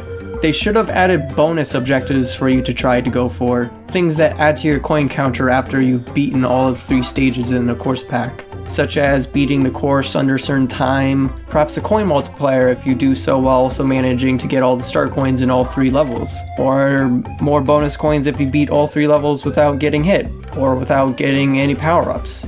Things like this would have added even more replay value to playing these level packs over and over. Regardless, in theory, this mode is still fine as is. In theory. But all of this hinges on the fact that the reward for getting 1 million coins is something that the player will want to do, meaning that the reward is worth it. Especially when, even if you replay these courses over and over and over, it will still take a lot of grinding in order to get 1 million coins. So finally, drum roll please, the reveal of what you get after your coin counter reaches 1 million coins! A slightly different title screen. Nothing to change up the gameplay, no new levels or worlds, no new playable character, nothing to change the presentation of the game a la Mario World's Autumn incarnation, just slightly different title screen. Oh, well, if you get nearly 10 times that amount and get 9,099,999 coins, you get an even different-er title screen. Amazing. Collecting coins in this game about coins, it's not worth it. It's really not worth it. Maybe there should have been some sort of shop during the campaign where you could buy access to more power-ups or new levels so it would feel more justified that they're pushing all these coins at you. But no, none of this. Nothing worthwhile. Nothing. In short, this mode can feel satisfying for a few brief moments as you're running through courses, raking up thousands and thousands of coins in such short bursts. But after those few short bursts of dopamine, it just gives you this dead, empty sensation. After playing the mode a couple times, you realize there's no real point in playing it at all, and it's not even particularly fun to play, which is just sad. But we're not done talking about Coin Rush, because this game has DLC, where it adds brand new level packs to Coin Rush. They're not very good. There are 10 packs, and most of them try to have some sort of theme to them. Allow me to go over some of them with you, but not all of them because it is not worth our precious time. The Gold Rush pack is easy and just throws a bunch of chances to play around with the Gold Fire Flower for once. The Nerve-Wrack pack has some rather dull levels, two of which heavily involve consecutively jumping off of enemies, which always comes off as boring and lazy level design. Gold Classics pack, which takes level designs from Mario games like 1 and 3 but remixes them so you can explore them in different ways. Not the most exciting thing, but it was nice that this DLC was free when it first came out. For about 3 months, but then it was full price again. Platform Panic Pack has levels based around waiting on platforms and are all effectively auto-scrolling levels, which is really fun when you're paying for levels that are just auto-scrollers. Mystery Adventures Pack, which is certainly one of the better ones, as they have more open-ended levels that would probably be more fun to go through if they weren't in this coin rush mode. The second level of this pack is still really lame though. The Impossible Pack, which is meant to be frustrating even for Mario veterans. Please note that you'll only get around 100 coins for completing this pack, if that, due to there being not a single collectible coin in any of its three levels. That's pretty cool that they made this for a mode that revolves around getting as many coins as possible. The real reason this pack is here is to test your patience. They really abuse the player with the mechanic where if you die once, you have to start the entire level pack all over. The first level alone is enough to make me want to rip my hair out. It starts off with a water section, with a jumping pufferfish and purple spikefish that follow after you, and a big purple fish that can swallow you, killing you instantly. That's all fairly easy though. But the section of level following after that has you going up into the sky, going over an instant death pit on a paddle wheel you have to continuously jump on to keep moving forward, all the while crows fly down at you, while bombs rain down on you, and a couple Lakitus harass you. And then finally, a section with hard to predict Hammer Brothers and chain chomps. The second level has a lot of wall jumps, moving platforms, and fire bars. Third level has grinders, note blocks, and instant death poison. Unfortunately, I don't think the gameplay being shown here accurately illustrates how difficult these stages are, due to this person taking several days out of their life and over a couple hundred attempts to finally learn how to properly get through these levels. But I think that that explanation of how long it took them to get through these levels that amount to 5 minutes of gameplay is enough for you to probably understand. You're not even allowed to use your golden fire flower that they give you at the start of every coin rush pack. Talk about fun! I'm glad I paid for this! I usually like when Nintendo throws in really difficult courses in Mario games because it feels like a fun challenge that contrasts how easy Mario games usually are. But this, this is not fun. It wouldn't be as bad if you didn't have to go all the way back to the first stage every time you made a simple mistake in the third stage and died instantly to poison. So in short, these levels aren't fun and neither really are the other levels, but for other reasons. Most of the other stages aren't very noteworthy, and there are even some really dull, boring levels. But I can't be all negative though, can I? Let's look at some highlights of what I did like from these DLC courses to help justify that I spent money on them. Course 3 of Gold Mushroom Pack is an underground level that's completely vertical, which is something that has not been done in a new Super Mario Bros. game before. Level itself isn't particularly special though, just reusing a couple mushroom platform based gimmicks we've seen a few times. Um, course 3 from Gold Rush Pack. Using a golden fire flower, you can hit brick blocks in the walls to get coins, which is an, it's an idea that wasn't seen in the main game, so... Mm-hmm. Course 2 of Coin Challenge Pack C has a star coin that's chopped by a bunch of brick blocks that all have coins in it, the only way to get to it is by hitting the ones at the bottom quickly enough to turn it into a golden block that Mario can put his head in. Not getting enough coins from the block in time will make it so you're simply unable to get the coin. It may not seem like much, but it's a decent puzzle for a star coin like this.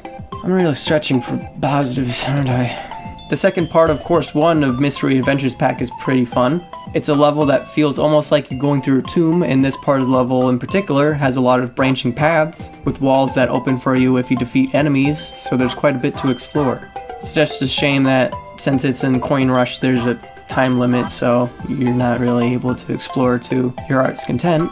And, um, none of that sounded particularly positive, but that's all I got. Each of these packs are in American dollars, $2.50. So if you were to pay for all 10 of these packs, that would equate to 25 US dollars. 25 US dollars. Over half of what this game costed when it first released. $25 for 30 levels. The quality of those 30 levels having a big range to them. That price is rather steep, and I can safely say is certainly not worth it. As the avid Mario fan I am, I hadn't even touched most of these DLCs up until recently. I ended up buying the remaining ones I hadn't bought yet, just so I can play them for this video. I knew they weren't worth it without even playing them. In my opinion, after having finally experienced them for myself, has not changed at all.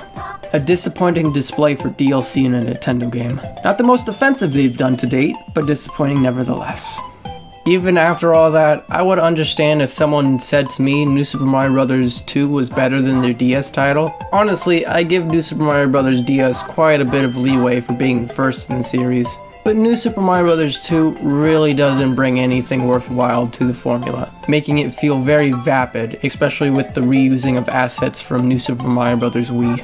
It's easy to point to this game and say it's the pinnacle of disappointment in modern Mario games, as it lacks a lot of heart. But if it's the one New Super Mario Bros. game you play, you're not gonna have a bad time. New Super Mario Bros. U is the fourth, and by God, hopefully the last New Super Mario Bros. game.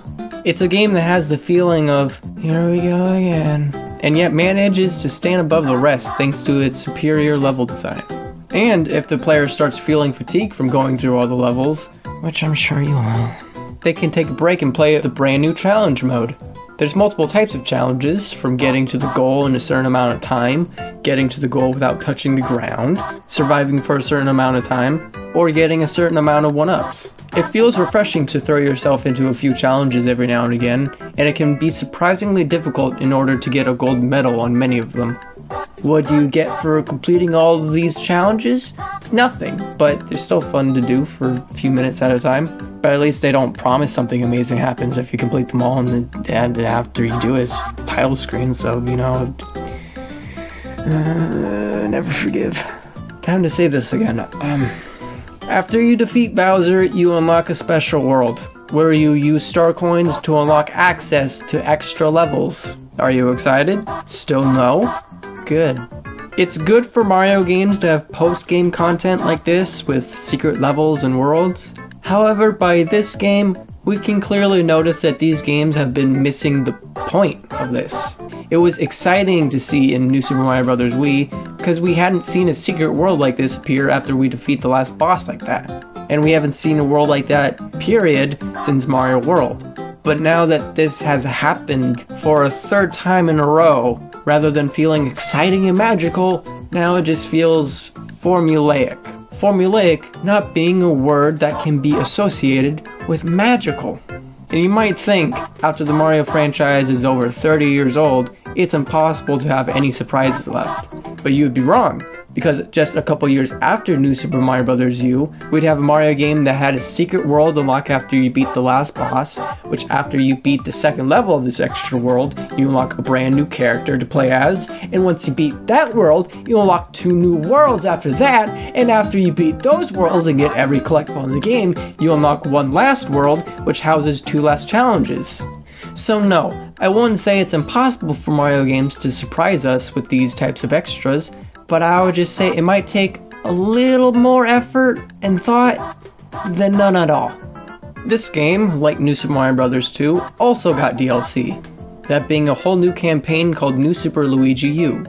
As one might imagine, this game came out during the year of Luigi, and had Mario removed as a playable character. In New Super Luigi U, you'll go across the exact same overworld as New Super Mario Bros. U, but the levels are all brand spanking new, and made to be more challenging a healthy, fun sort of challenge, rather than frustrating and unfair. Each of these levels are roughly half the length of a typical New Super Mario Bros. U level. The catch here is that you're only given 100 seconds at the beginning of the stage to get to the end, and you have to play with Luigi's signature slippery controls and higher jump. The Luigi controls may take a few levels to get used to, but having these challenging levels designed with this style of play in mind feels rewarding and fun to play through. The world themes are all exactly the same, but thankfully have brand new tile sets and background set pieces to make them feel different enough. Unlike New Super Mario Bros. 2 DLC, the levels themselves also have the same mechanics as seen in New Super Mario Bros. U, but are mixed and matched or utilized differently than we've ever seen them before, so the level designs are able to still feel fresh. Cute little Easter egg, each level has its own hidden Luigi. Some are easier to find than others, and some are more unique than others, such as a bunch of them are just random Luigi sprites. Or sometimes, you know, Luigi can just be the sky. It's almost reminiscent of hidden Mickeys in Disney World, but I don't like Disney. Honestly, with these more difficult, shorter stages making the game have a much snappier pace, I wouldn't blame anyone if they said that this was their favorite New Super Mario Bros. game which would be ironic because Mario's not in it. Keeping in mind that the main game of New Super Mario Bros. U was $60, and with this DLC you are doubling the amount of levels, guess the price of this DLC? $20. Or if you want the physical version, $30. $20 for 83 brand new levels. For less than the cost of New Super Mario Bros. 2 DLC, you get significantly more content with much more consistent quality level design. That is how you do DLC. A significant amount of worthwhile content at a fair price. It's not that complicated. I'm not sure what's so hard to understand here. The only negatives I would have for New Super Luigi U being that it's kind of annoying to hear the game's hurry up music it always does whenever the timer gets below 100. for every stage. And, uh, second negative, there's absolutely no indication that you have to pound ground right here to find a pipe to launch you to a secret exit. No indication. Every other secret exit in a Mario game is supposed to have an indication to help you find it, to help you look for where a secret exit would be. But here, you just randomly pound ground the ground for no reason. You're supposed to know this.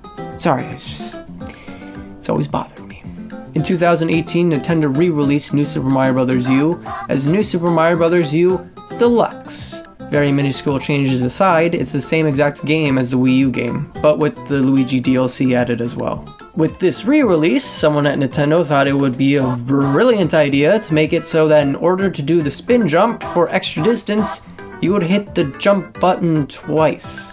In New Super Mario Bros. U on the Wii U, if you were to play on the gamepad, you would hit the shoulder button, which worked. This was fantastic, since you didn't have to do the waggle thing, and it was just an easy, convenient button. But here, they tie it to the shoulder button as well, but also to the jump button if you hit it twice. This would be a problem, because it feels absolutely unnatural to how we use this mechanic in every other game that has this mechanic.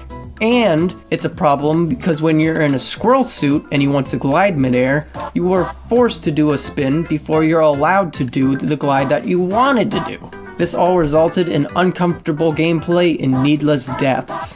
But, and this is a big but, you can change the controls to make it so you can just press the shoulder button in order to do the spin action rather than tapping jump button twice. How do you do this, you may ask? Mayhaps it is in an options or control menu that you can turn on or off. And to that, I scoff. No, in order to make the game comfortable to play, you must input a secret code, one that the game does not tell you about.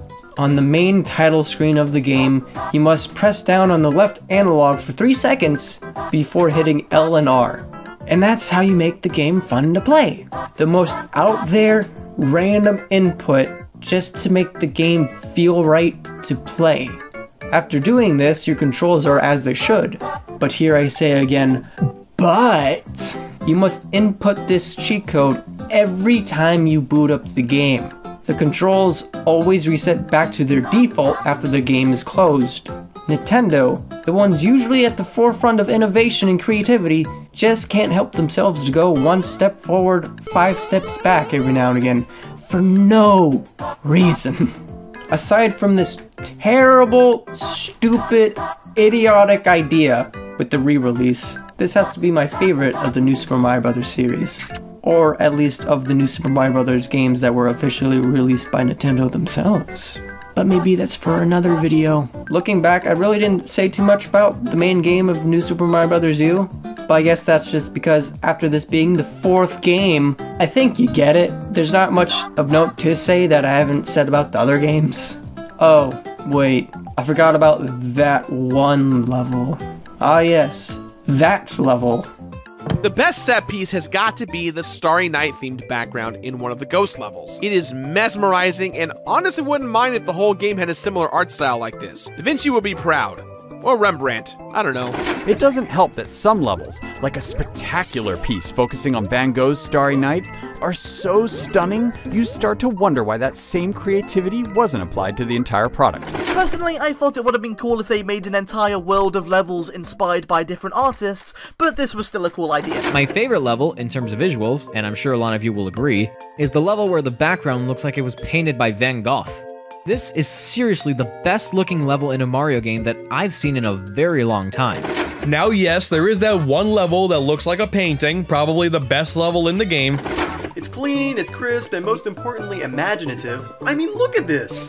Alright, I think you get it, but it's been said so many times because it's true.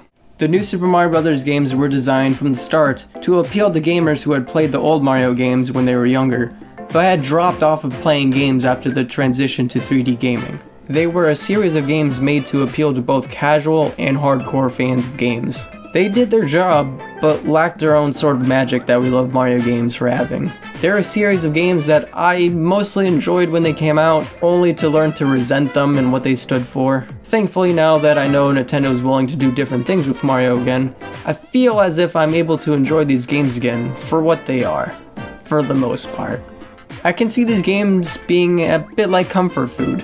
They're not the best, and they're not the best for you, but you know what you're getting into, and it's polished, and nevertheless, it's, simple fun. When these games first came out, people started growing bored of the stagnation that came with them. And probably because the fact that half of them came out months apart from each other, that certainly didn't help. At the time, Nintendo needed something new. Actually new, in order to help bring life back to the 2D Mario games. Super Mario Maker! Where do we go from here, one may ask? Our plumber has already rejuvenated North American interest in video games, defined a whole genre, created numerous revolutionary games that still resonate and inspire people to this very day. He's gone through too many adventures to keep up with, so how else can we move forward without it again feeling like we're treading water? Since the dawn of the internet, people have been tampering with ROM hacking or making their own fan games in order to create their own Mario levels, to bring their own imagination to the Mushroom Kingdom, for better or worse. Many of these fan games would also boast the ability for players to easily create their own levels as well, without having to do any of that pesky coding themselves. For years, we've had to rely on these fan-made creations in order to enjoy fan-created Mario levels. But in 2015, this was no more, as Nintendo did what we thought they'd never do. Nintendo said to the fans, Oh, New Super Mario Bros. is too boring for you all? Well, you know. Nintendo was like, why are we spending money making levels for consumers when consumers will give us money to make the levels themselves? And that's what Super Mario Maker is. It's a great big brightly coloured smile through clenched teeth and a cheerful cry of, well, if you're so clever, you can do it. Super Mario Maker. They're like, okay, we're tired right now. We've earned this rest, goddammit. You guys make your own damn game. I just imagine Miyamoto is sitting in his office like, oh, what, you don't like our games all of a sudden? Well, make one your own damn self. If you're so good, make it yourself. Oh, forget it. Nintendo made the dream come alive. What countless Mario fans fantasize about being able to craft their own Mario creations in an official Mario level creation tool, one that boasts four types of games Super Mario Bros. 1, 3, World, and New Super Mario Bros. U. One that brings back features, power ups, and enemies from the old games, but also adds in brand new and unique mechanics, while tweaking some old ones in order for them to interact with one another in a more open, creative environment. All this so we, the fans, could enjoy crafting our very own levels for the entire world to play, and these are pretty bad. Actually, wow, wow. alright, that doesn't even look like fun. Why would I want to purposely frustrate myself with levels like these? Oh, yeah. They're for YouTubers and streamers to play so that they can yell and get a lot of views. Are you serious? Oh boy, look at all these levels that just play themselves. Isn't this fun? Right? That's what this is supposed to be fun. Fun. As cynical as I'm being, not all the levels were bad or completely, utterly unfun. Just most of them. And finding a diamond in the rough was no easy feat with you having to look through highest rated levels that were still not always very good. It didn't help that you couldn't search for any particular type of level that you might have wanted. You could only search for levels if you had their very specific level ID, which didn't make finding levels the most intuitive thing in the world, sadly. But what was intuitive was the level creation itself. The Wii U pad, with its touchscreen and stylus, was made to work perfectly for a game like this. Just plop down some ground, Click on the drop down menu to put in objects like items and obstacles, and in no time you would have had created a level. It couldn't be more intuitive. You can hand this over to a small child and I feel within a few minutes they would start to understand how it all works. It's just that easy. I cannot say enough how cool it is to see things like Wigglers and Chain Chomps in Mario 1, or the Ghost House theme in Mario 3. Assets that never existed before in these games, but were designed specifically for Mario Maker, as if they came from an alternate universe version of those games. perhaps people who have played the old games have already taken notice by now, but in the old Mario styles, you can notice that everything has a drop shadow to them. I like to think that this subtle detail is Nintendo's way of trying to justify this sort of game's existence, in that, like how Mario 3 was originally a stage play, these drop shadows give the feeling that everything is just a construct, just another play of sorts. As if to give the illusion that there are theater lights shining down on everything, and that the background is immediately by your side. Not everyone might like these backdrops, but this point of view has me appreciate this small little detail. Exclusive to the Mario 1 style is an item known as the Mystery Mushroom. It's this game's tie-in with Amiibo. Yeah, remember when those existed? With this item, you'd be able to transform Mario into over 150 other characters, which include other Mario characters, like Rosalina, or various Zelda characters, or Baby Metal, from the heavy metal J-pop band Baby Metal. Sure, why not? And who could forget Smash players' favorite characters, from Fire Emblem? This was a very clever idea for an item, not only because it gave you a reason to perhaps go out and buy amiibos, but also because these costumes helped inspire countless different levels from people. People making Zelda-esque dungeon levels with Link costumes, or levels meant to emulate the Green Hill Zone as you play as Sonic. These costumes may not have their own abilities attached to them, but they really open the door for people's creative ideas to flow. The one downside to this item is that it's only available in the Mario 1 style, so you can count on there being a large amount of Mario 1 styled levels because people want to use these costumes. If you don't want to go out and spend countless dollars for dozens of amiibos, or if you don't want to create your own NFC cards to pirate your own amiibo, you can instead unlock them by playing the 100 Mario Challenge. In this mode, you are given 100 lives to get through a series of user-submitted levels, and if you get to the end, you unlock a new amiibo costume. Most of these levels you'll be playing are terrible, which make this mode, and the grind to try to get these amiibo costumes, not fun. So yeah, guess it's back to creating my own NFC cards then. When in doubt, pirate things. Out of the box, Mario Maker had dozens of sample levels to show you what the level editor is capable of. And these levels, at large, are insanely boring. Usually these levels are only interested in showing the player one or two basic concepts for two seconds before they end. You would be hard pressed to call some of these levels at all. Which, you can argue that these levels are only meant to give you an idea of what is possible for you to do and then try to inspire you to further these concepts. But it's hard to feel inspired by a single boo wheel, and that's that's it, that's the whole level. But that's me talking about the Wii U Mario Maker. Mario Maker on the 3DS, on the other hand, because this game exists even though you all forget about it. Hoo boy! Again, out of the box, you have dozens of sample stages, but this time they're actual stages. Also, they each have two challenges you can complete to get medals, which, if you get enough by the end, you unlock a few extra levels. Some of these levels are fun in their own right to play, but few of them are really only engaging enough if you play along with the challenge medals. Allow me to best illustrate to you the differences between the Wii U sample levels and the 3DS sample levels. In the Wii U version, there's a sample course that has you trying to find a star to defeat a tower of chain chomps. And that's the end of the level. After you get past the tower, that's it. The 3DS version has this exact same puzzle as well, however, there's a whole level before you even get to this puzzle, one with an overworld and underground section. One of these took time and thought to make, and was fun to play. The other took two minutes, and takes five seconds to beat. I'll let you ponder which one's which. The 3DS levels are actual levels, and if you want a real Mario campaign, you can play this and actually feel fairly satisfied by it. If you love Mario games and haven't played the 3DS Mario Maker because you thought there wasn't any point in doing so, like how I had previously thought, I recommend playing it for the single player alone. For $20 or less, I feel that's pretty fair. But don't get it for any other reason than the single player. In the 3DS version, you cannot upload levels. You can only play certain levels that Nintendo has deemed worthy, and there are no amiibo costumes. And you can't even make courses on the 3DS version and then send them to your Wii U game to save, play, and then upload from there. which feels like a huge missed opportunity.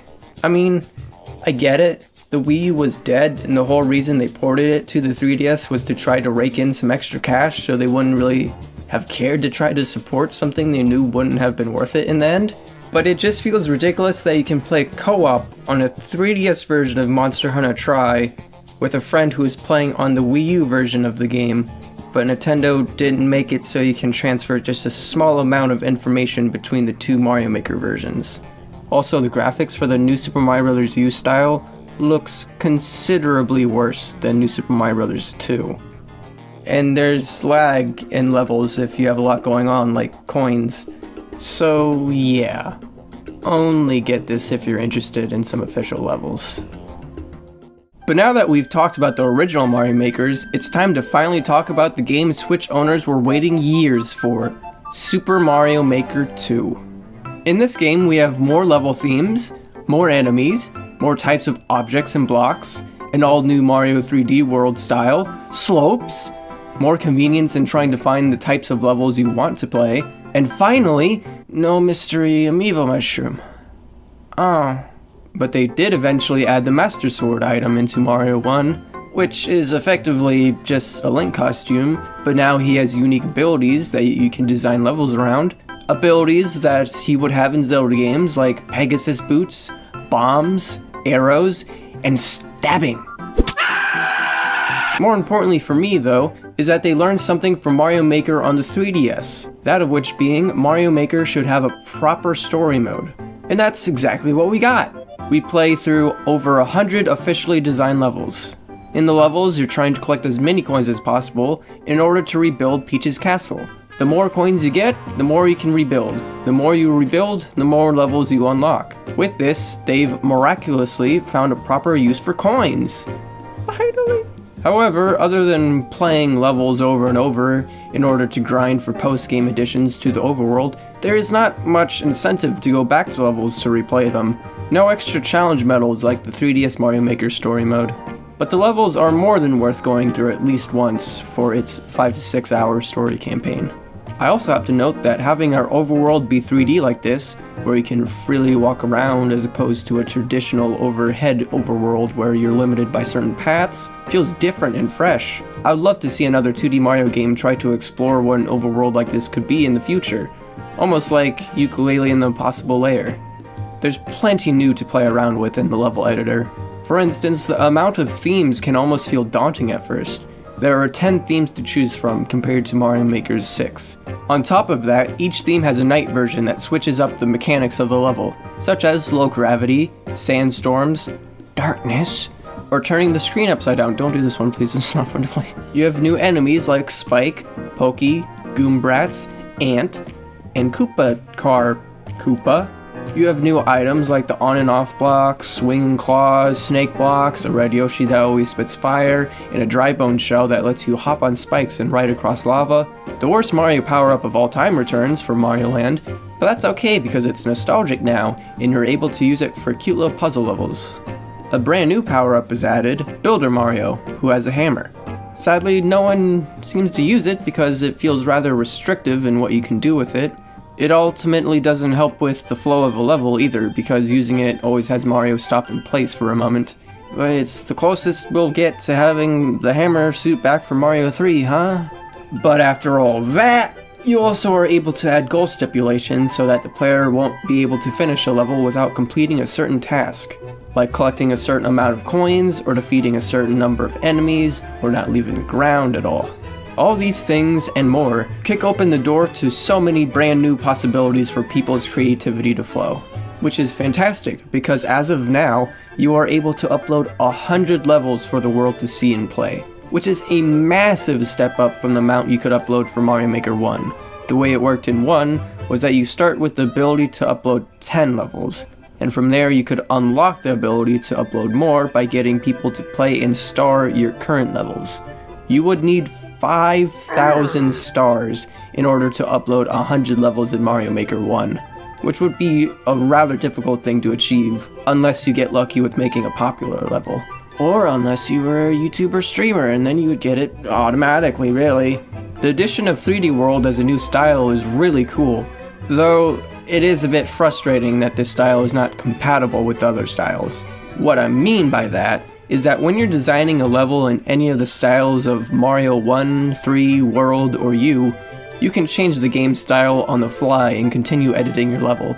But if you're working on any one of those level styles and try to change the style to 3D World, or vice versa, the level just goes completely blank.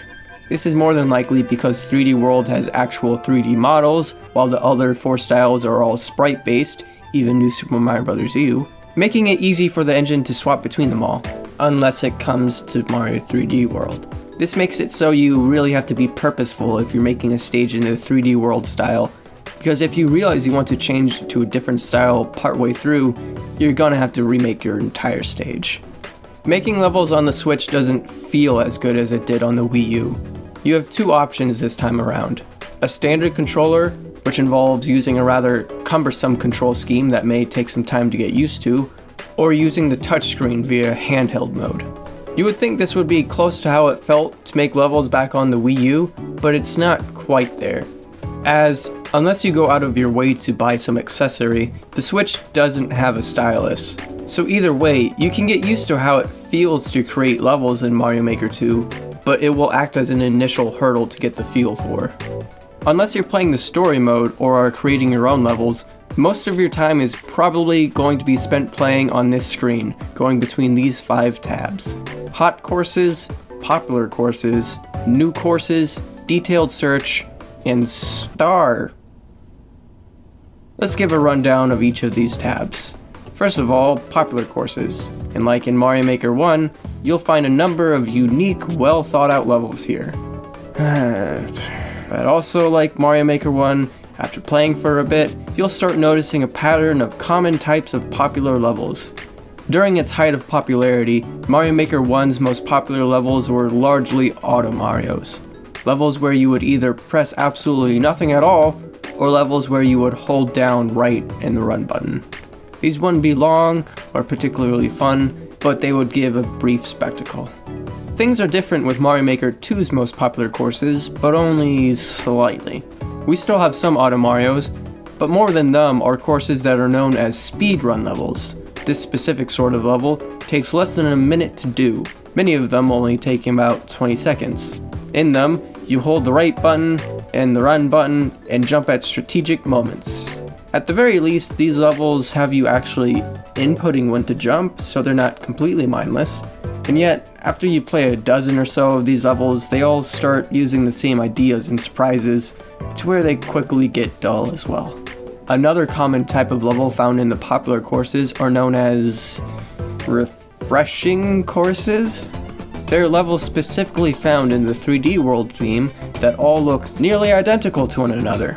They all start the same, all have a long vertical section where you pound ground through blocks, power-ups, and you see various explosions that instantly kill all sorts of enemies and bosses around you until you get to the bottom and collect so many coins that the game starts to lag. These levels usually have a Koopa car section that speeds through even more enemies, and then you win. These levels are the very definition of sensory overload and I find them to be even more mind numbing than the Auto Marios found in Mario Maker 1 somehow.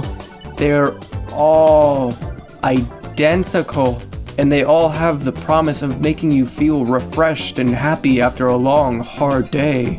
As if watching a bunch of random flashing colors is going to reignite the flames in my empty heart after slaving away at my soul destroying job.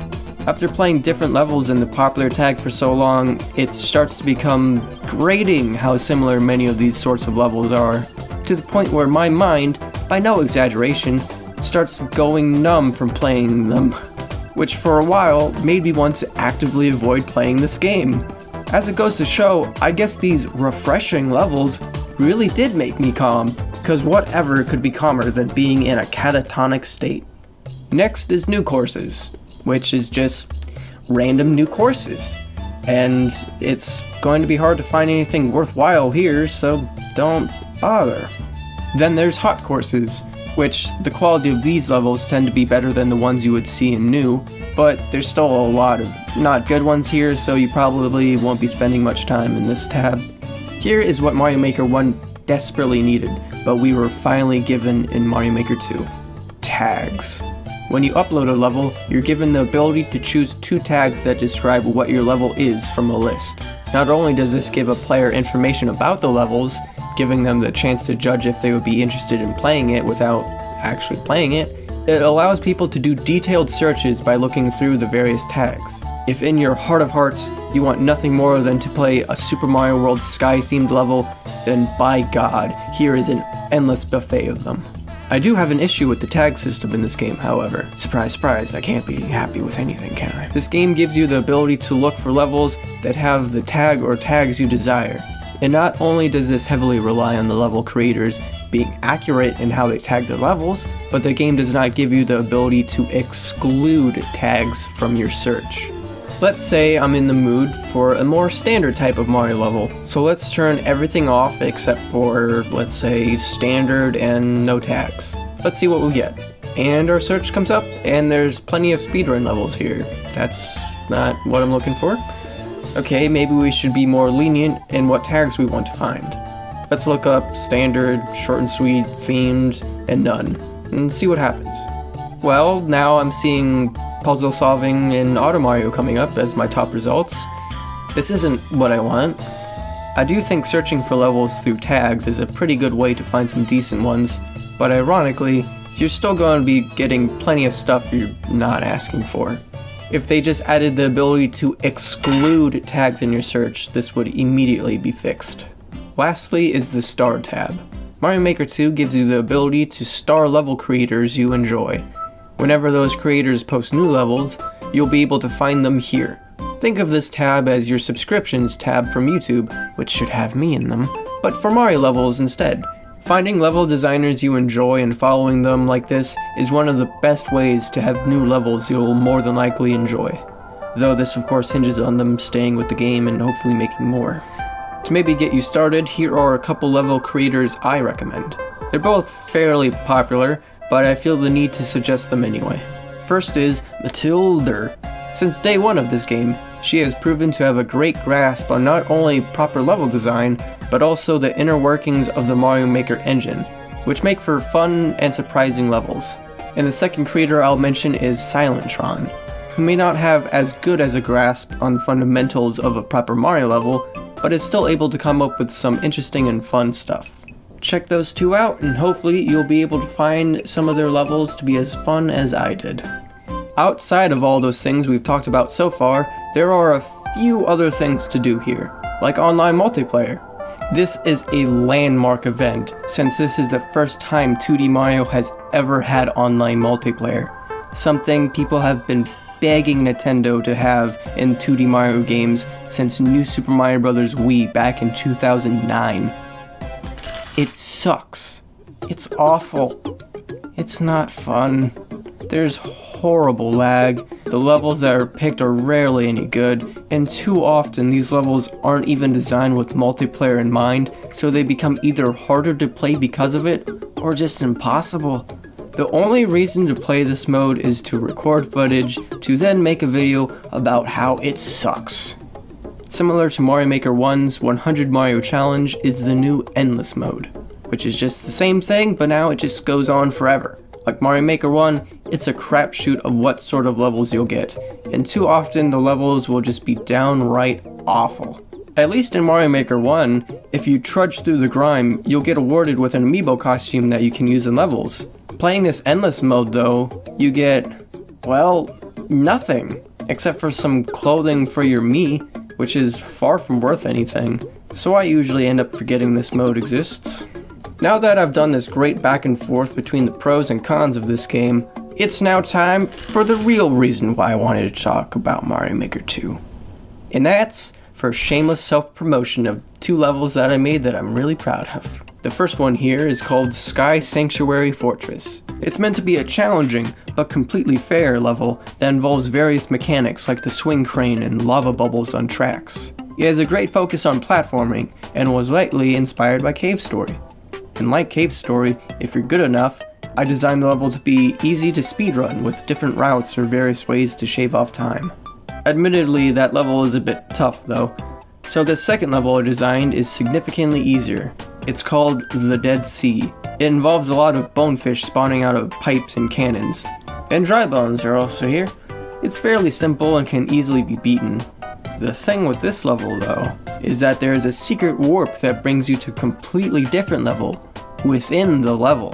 This level within a level having not a single enemy, but is designed to be solely platforming focused. A challenging gauntlet of spikes and moving blocks, which was also inspired a bit by Cave Story. The codes to these levels are on screen now, so if they interest you, check them out. Or maybe my other levels too. Give me hearts on them, please. I am absolutely desperate for any sense of validation. Super Mario Maker 2 is a brilliant tool that's charming, fun, and easy to use. Nintendo really focused on what new things they could add to build upon the original. It's a really good game, one that I don't feel the desire to play at all anymore. Let's talk about that, shall we? I don't know if it's just me and the inevitable bias that I have, but it seems to me that many people dropped interest with Mario Maker 2 much sooner than we all had anticipated. Mario Maker 1 was such a huge thing on the internet, even with the low sales of the Wii U, especially for YouTubers and streamers. But I get the impression now that there's not that many people giving the game the light of day anymore. Nintendo themselves haven't been giving the game the light of day either, as they haven't been prioritizing updates with Mario Maker 2. After 6 months of nothing, Nintendo finally did give us some type of an update, but it's been almost a year and we still have no idea what they meant by extra styles, plural. Are they going to be adding more styles or not? Maybe Mario Maker 2 didn't make as big of a splash as they had hoped. It's certainly possible the first game was akin to lightning in a bottle. Nintendo had never done anything like this before, so it was huge and exciting the first time around. In contrast, when Mario Maker 2 was announced, it was exciting to see, but ultimately unsurprising and expected. We knew it would have been coming eventually. It had to have.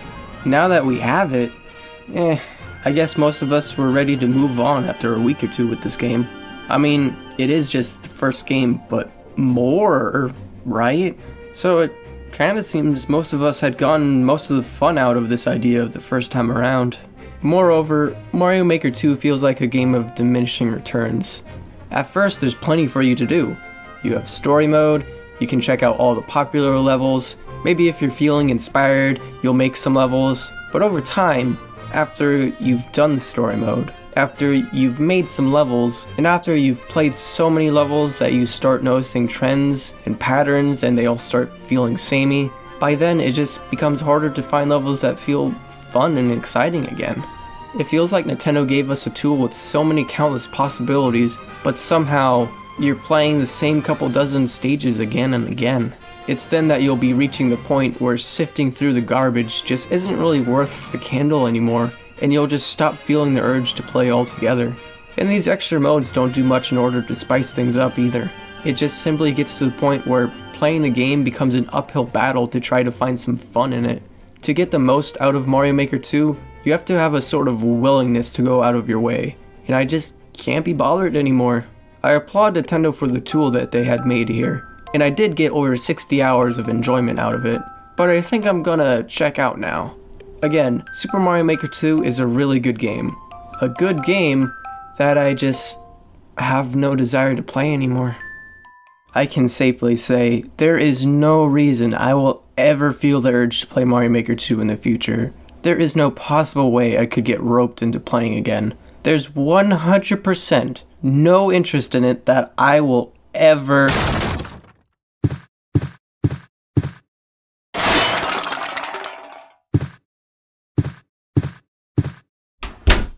I was this close to being done talking about this game. On April 22nd of 2020, Nintendo released the last major update to Super Mario Maker 2, adding an assortment of new features and mechanics. Let's talk about the most obvious and arguably the biggest addition, the Super World Maker. This is a feature that most fans have been wanting ever since the first Mario Maker, and it's honestly something I never expected for Nintendo to follow through with. It allows users to create their own worlds, from an array of world themes that you could expect from a Mario game at this point. grass world, desert world, ice world, forest. Okay, we're not doing this again. These worlds may use some music for Mario 3 and World, but the graphic style can only be for Mario World, which is a bit of a shame, not having Mario 3 or Mario U style maps, or perhaps even a revamped Mario 1 styled map. Especially considering that with only one style, these worlds will only blend together and start feeling too samey if you play long enough. And yet, it's the functionality that's what's important here. The ability for creators to select a series of levels to be played in order, they may be arranged based on theming or by a difficulty curve. This concept gives way to the possibility to find great level after great level without having to do constant searching. Because before, even if you found a great level through, let's say, endless mode or through the popular tag, after 2 to 4 minutes the level is bound to be over and the search would start again for yet another level. But with these worlds, you can have back to back to back levels to enjoy, up to a maximum of 40, which, given a rough estimate, is about half the length of a real Mario game. Someone can put months of work into 8 worlds with 40 amazing levels worth of content to play. But good luck finding worlds like that, that are actually worth playing, without a lot of trial and error. A lot of trial and error. The system to select worlds is simply not as good as it should be. You get a lowly amount of information on someone's super world before you commit to playing it. You get told the user's name, how many worlds there are, and how many levels there are. You do not get told how difficult the levels are. You do not get told what types of levels there are. No mention of any tags or Mario styles present within the world you do not get any sort of description of the world to help you pick and choose what you want to play. As it is, it's akin to throwing a dart at a board, blindfolded, and just hoping for the best. This is not good. This is not intuitive. Did I want to choose a world that's nothing but nearly identical speedrun levels with dropping blue platforms? No. Did I want to choose a world that's nothing but the exact same Auto Mario stage but in the different Mario styles? No. If given a brief profile of the world before I played it, would I have chosen to have played this world? Or whatever is going on here? Would I have deliberately chosen to play this nightmare? Would I ever have dreamed about playing a world that was just a refreshing level? No. This is not fun. This does not make me want to play people's super worlds. I am, again, having to go out of my way to try to find the fun in this game, more so than I feel it should be necessary for a mode like this.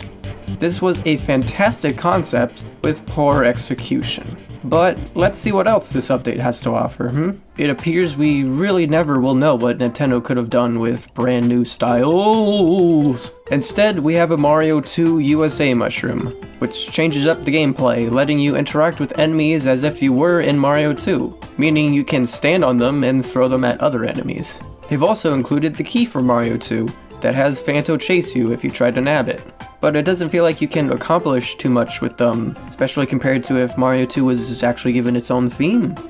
But we have to let that dream die. Do you get what I did there? Because it's just dream in Mario 2? Frog Suit in Mario 3 is pretty cool. It allows people to make more fun water levels that don't feel as slow. They also added a new ability for Frog Mario, where he can run on water if he's holding an item. This feels like a very specific ability that actually took me a second to understand, since it's not the most intuitive thing to have to hold a power block in order to achieve this, but it adds some much needed versatility to the power-up. You also jump ever so slightly higher as Frog Mario. Though it's still at the bottom of the Mario power-up tier list I just made up and no one can debate me because I'm right. Super Acorn in Mario U is cool. I enjoy. Boomerang in 3D World is cool. I enjoy.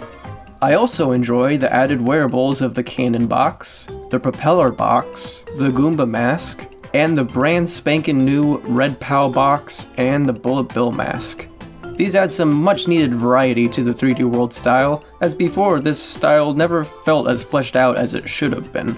Even now, it still could have used some more things. Like a dojo theme would have been great. Or how about some charging chucks, since they're still not in the game at all? Or how about the mice enemies actually interacting with blocks when they jump? But these new items do at least help 3D World feel more interesting to design for.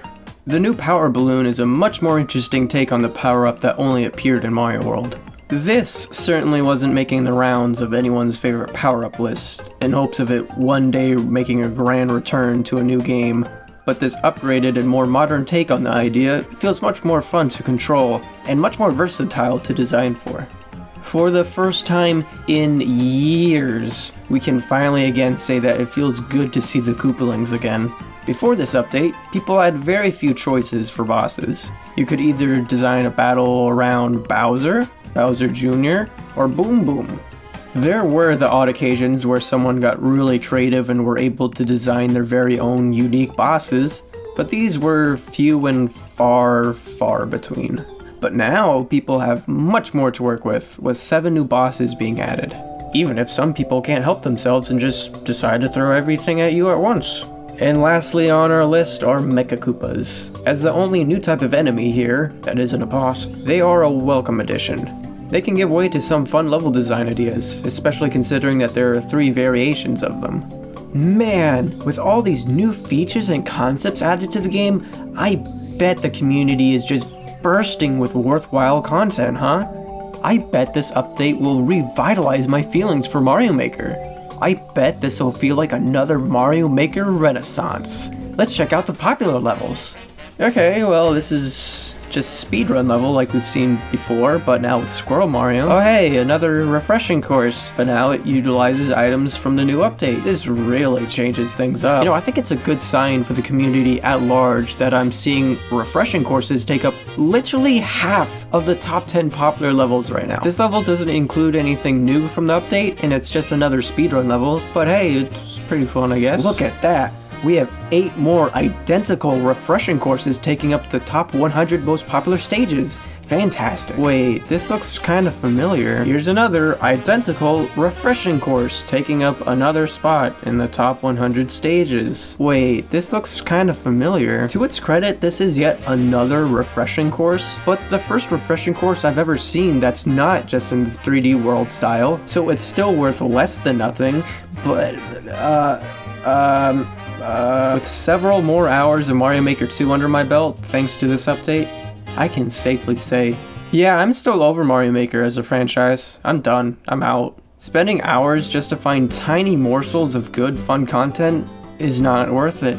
Trudging through nearly identical levels that just shuffle through the same ideas is not worth it. Even with a major update like this, Mario Maker 2 isn't saved. But to be honest, I don't think it could have been. For me, the intrigue of Mario Maker has run its course. It was an explosive new idea back in 2015, but now it's lost all of its luster. Unless you have far too much time to kill and don't mind shuffling through endless garbage. Not even adding features people were begging for could have helped. Also, they still never added a beach theme to the game. Okay, now I am done talking about Mario Maker 2. Good lord. The script for this 2D Mario retrospective series has been worked on for over a year now. Let's just get to the conclusion of all of this, shall we? Some people say the Super Mario Maker games make any future new Super Mario Bros. game impossible to make, or at the very least, pointless due to the nature of Mario Maker. While I feel that's not true at all, I do feel it is time to let the new series die. It was a series born from trying to get back the casual market into 2D Mario with the DS and Wii game, which then just happened to continue onto the 3DS and Wii U. But with the Nintendo Switch, I think it's time to move on. 2D Mario still has potential and reason to exist outside of the Super Mario Maker games. It's just that they need to come up with new ideas that aren't possible in the commercialized, easy to digest and use space of Mario Maker or the new Super Mario Bros. franchise and it's clear that they still have some imagination for Mario to come up with wacky ideas that feel strange but somehow still fit very well for Mario, as we can see from all the unique features that Mario Maker 2 brought. Where were all these ideas back in the new Super Mario Bros. days? I don't think it's fair to the development teams in charge of Mario to say that there's nowhere to go after a level creation tool. Even still, people are not going to be excited about Mario Maker 3 if all it is is just more of what we got before but with a handful of new things added. I think Mario Maker 2's existence is proof enough of that. I'm sure those people on Nintendo will be able to show off something soon that will manage to blow our minds in a whole new way, as they have many times before. Over the course of all these years, the development teams at Nintendo were able to consistently find new, imaginative ways to create a sense of magic and wonder with a concept so simple as a chubby Italian man running and jumping around. I look forward to seeing what the future awaits for 2D Mario, but in the meantime, I know I'll get plenty of enjoyment from playing any of these classic titles for the millionth time over. I'm sure you've noticed that I hadn't talked about every aspect of each game we've touched on, but if I had attempted that, we'd be here all day, and that would get really boring. But I feel like I had covered everything that I wanted to, and felt was interesting enough to talk about. But if there was anything that you feel I missed, and that you admire or detest about the 2D Mario games, go ahead and share your thoughts in the comments. I would love to see this admiration or public humiliation of Mario continue down there. But I think this video has been self-indulgent and lengthy enough. This is where our journey ends. Thanks for watching, and good night.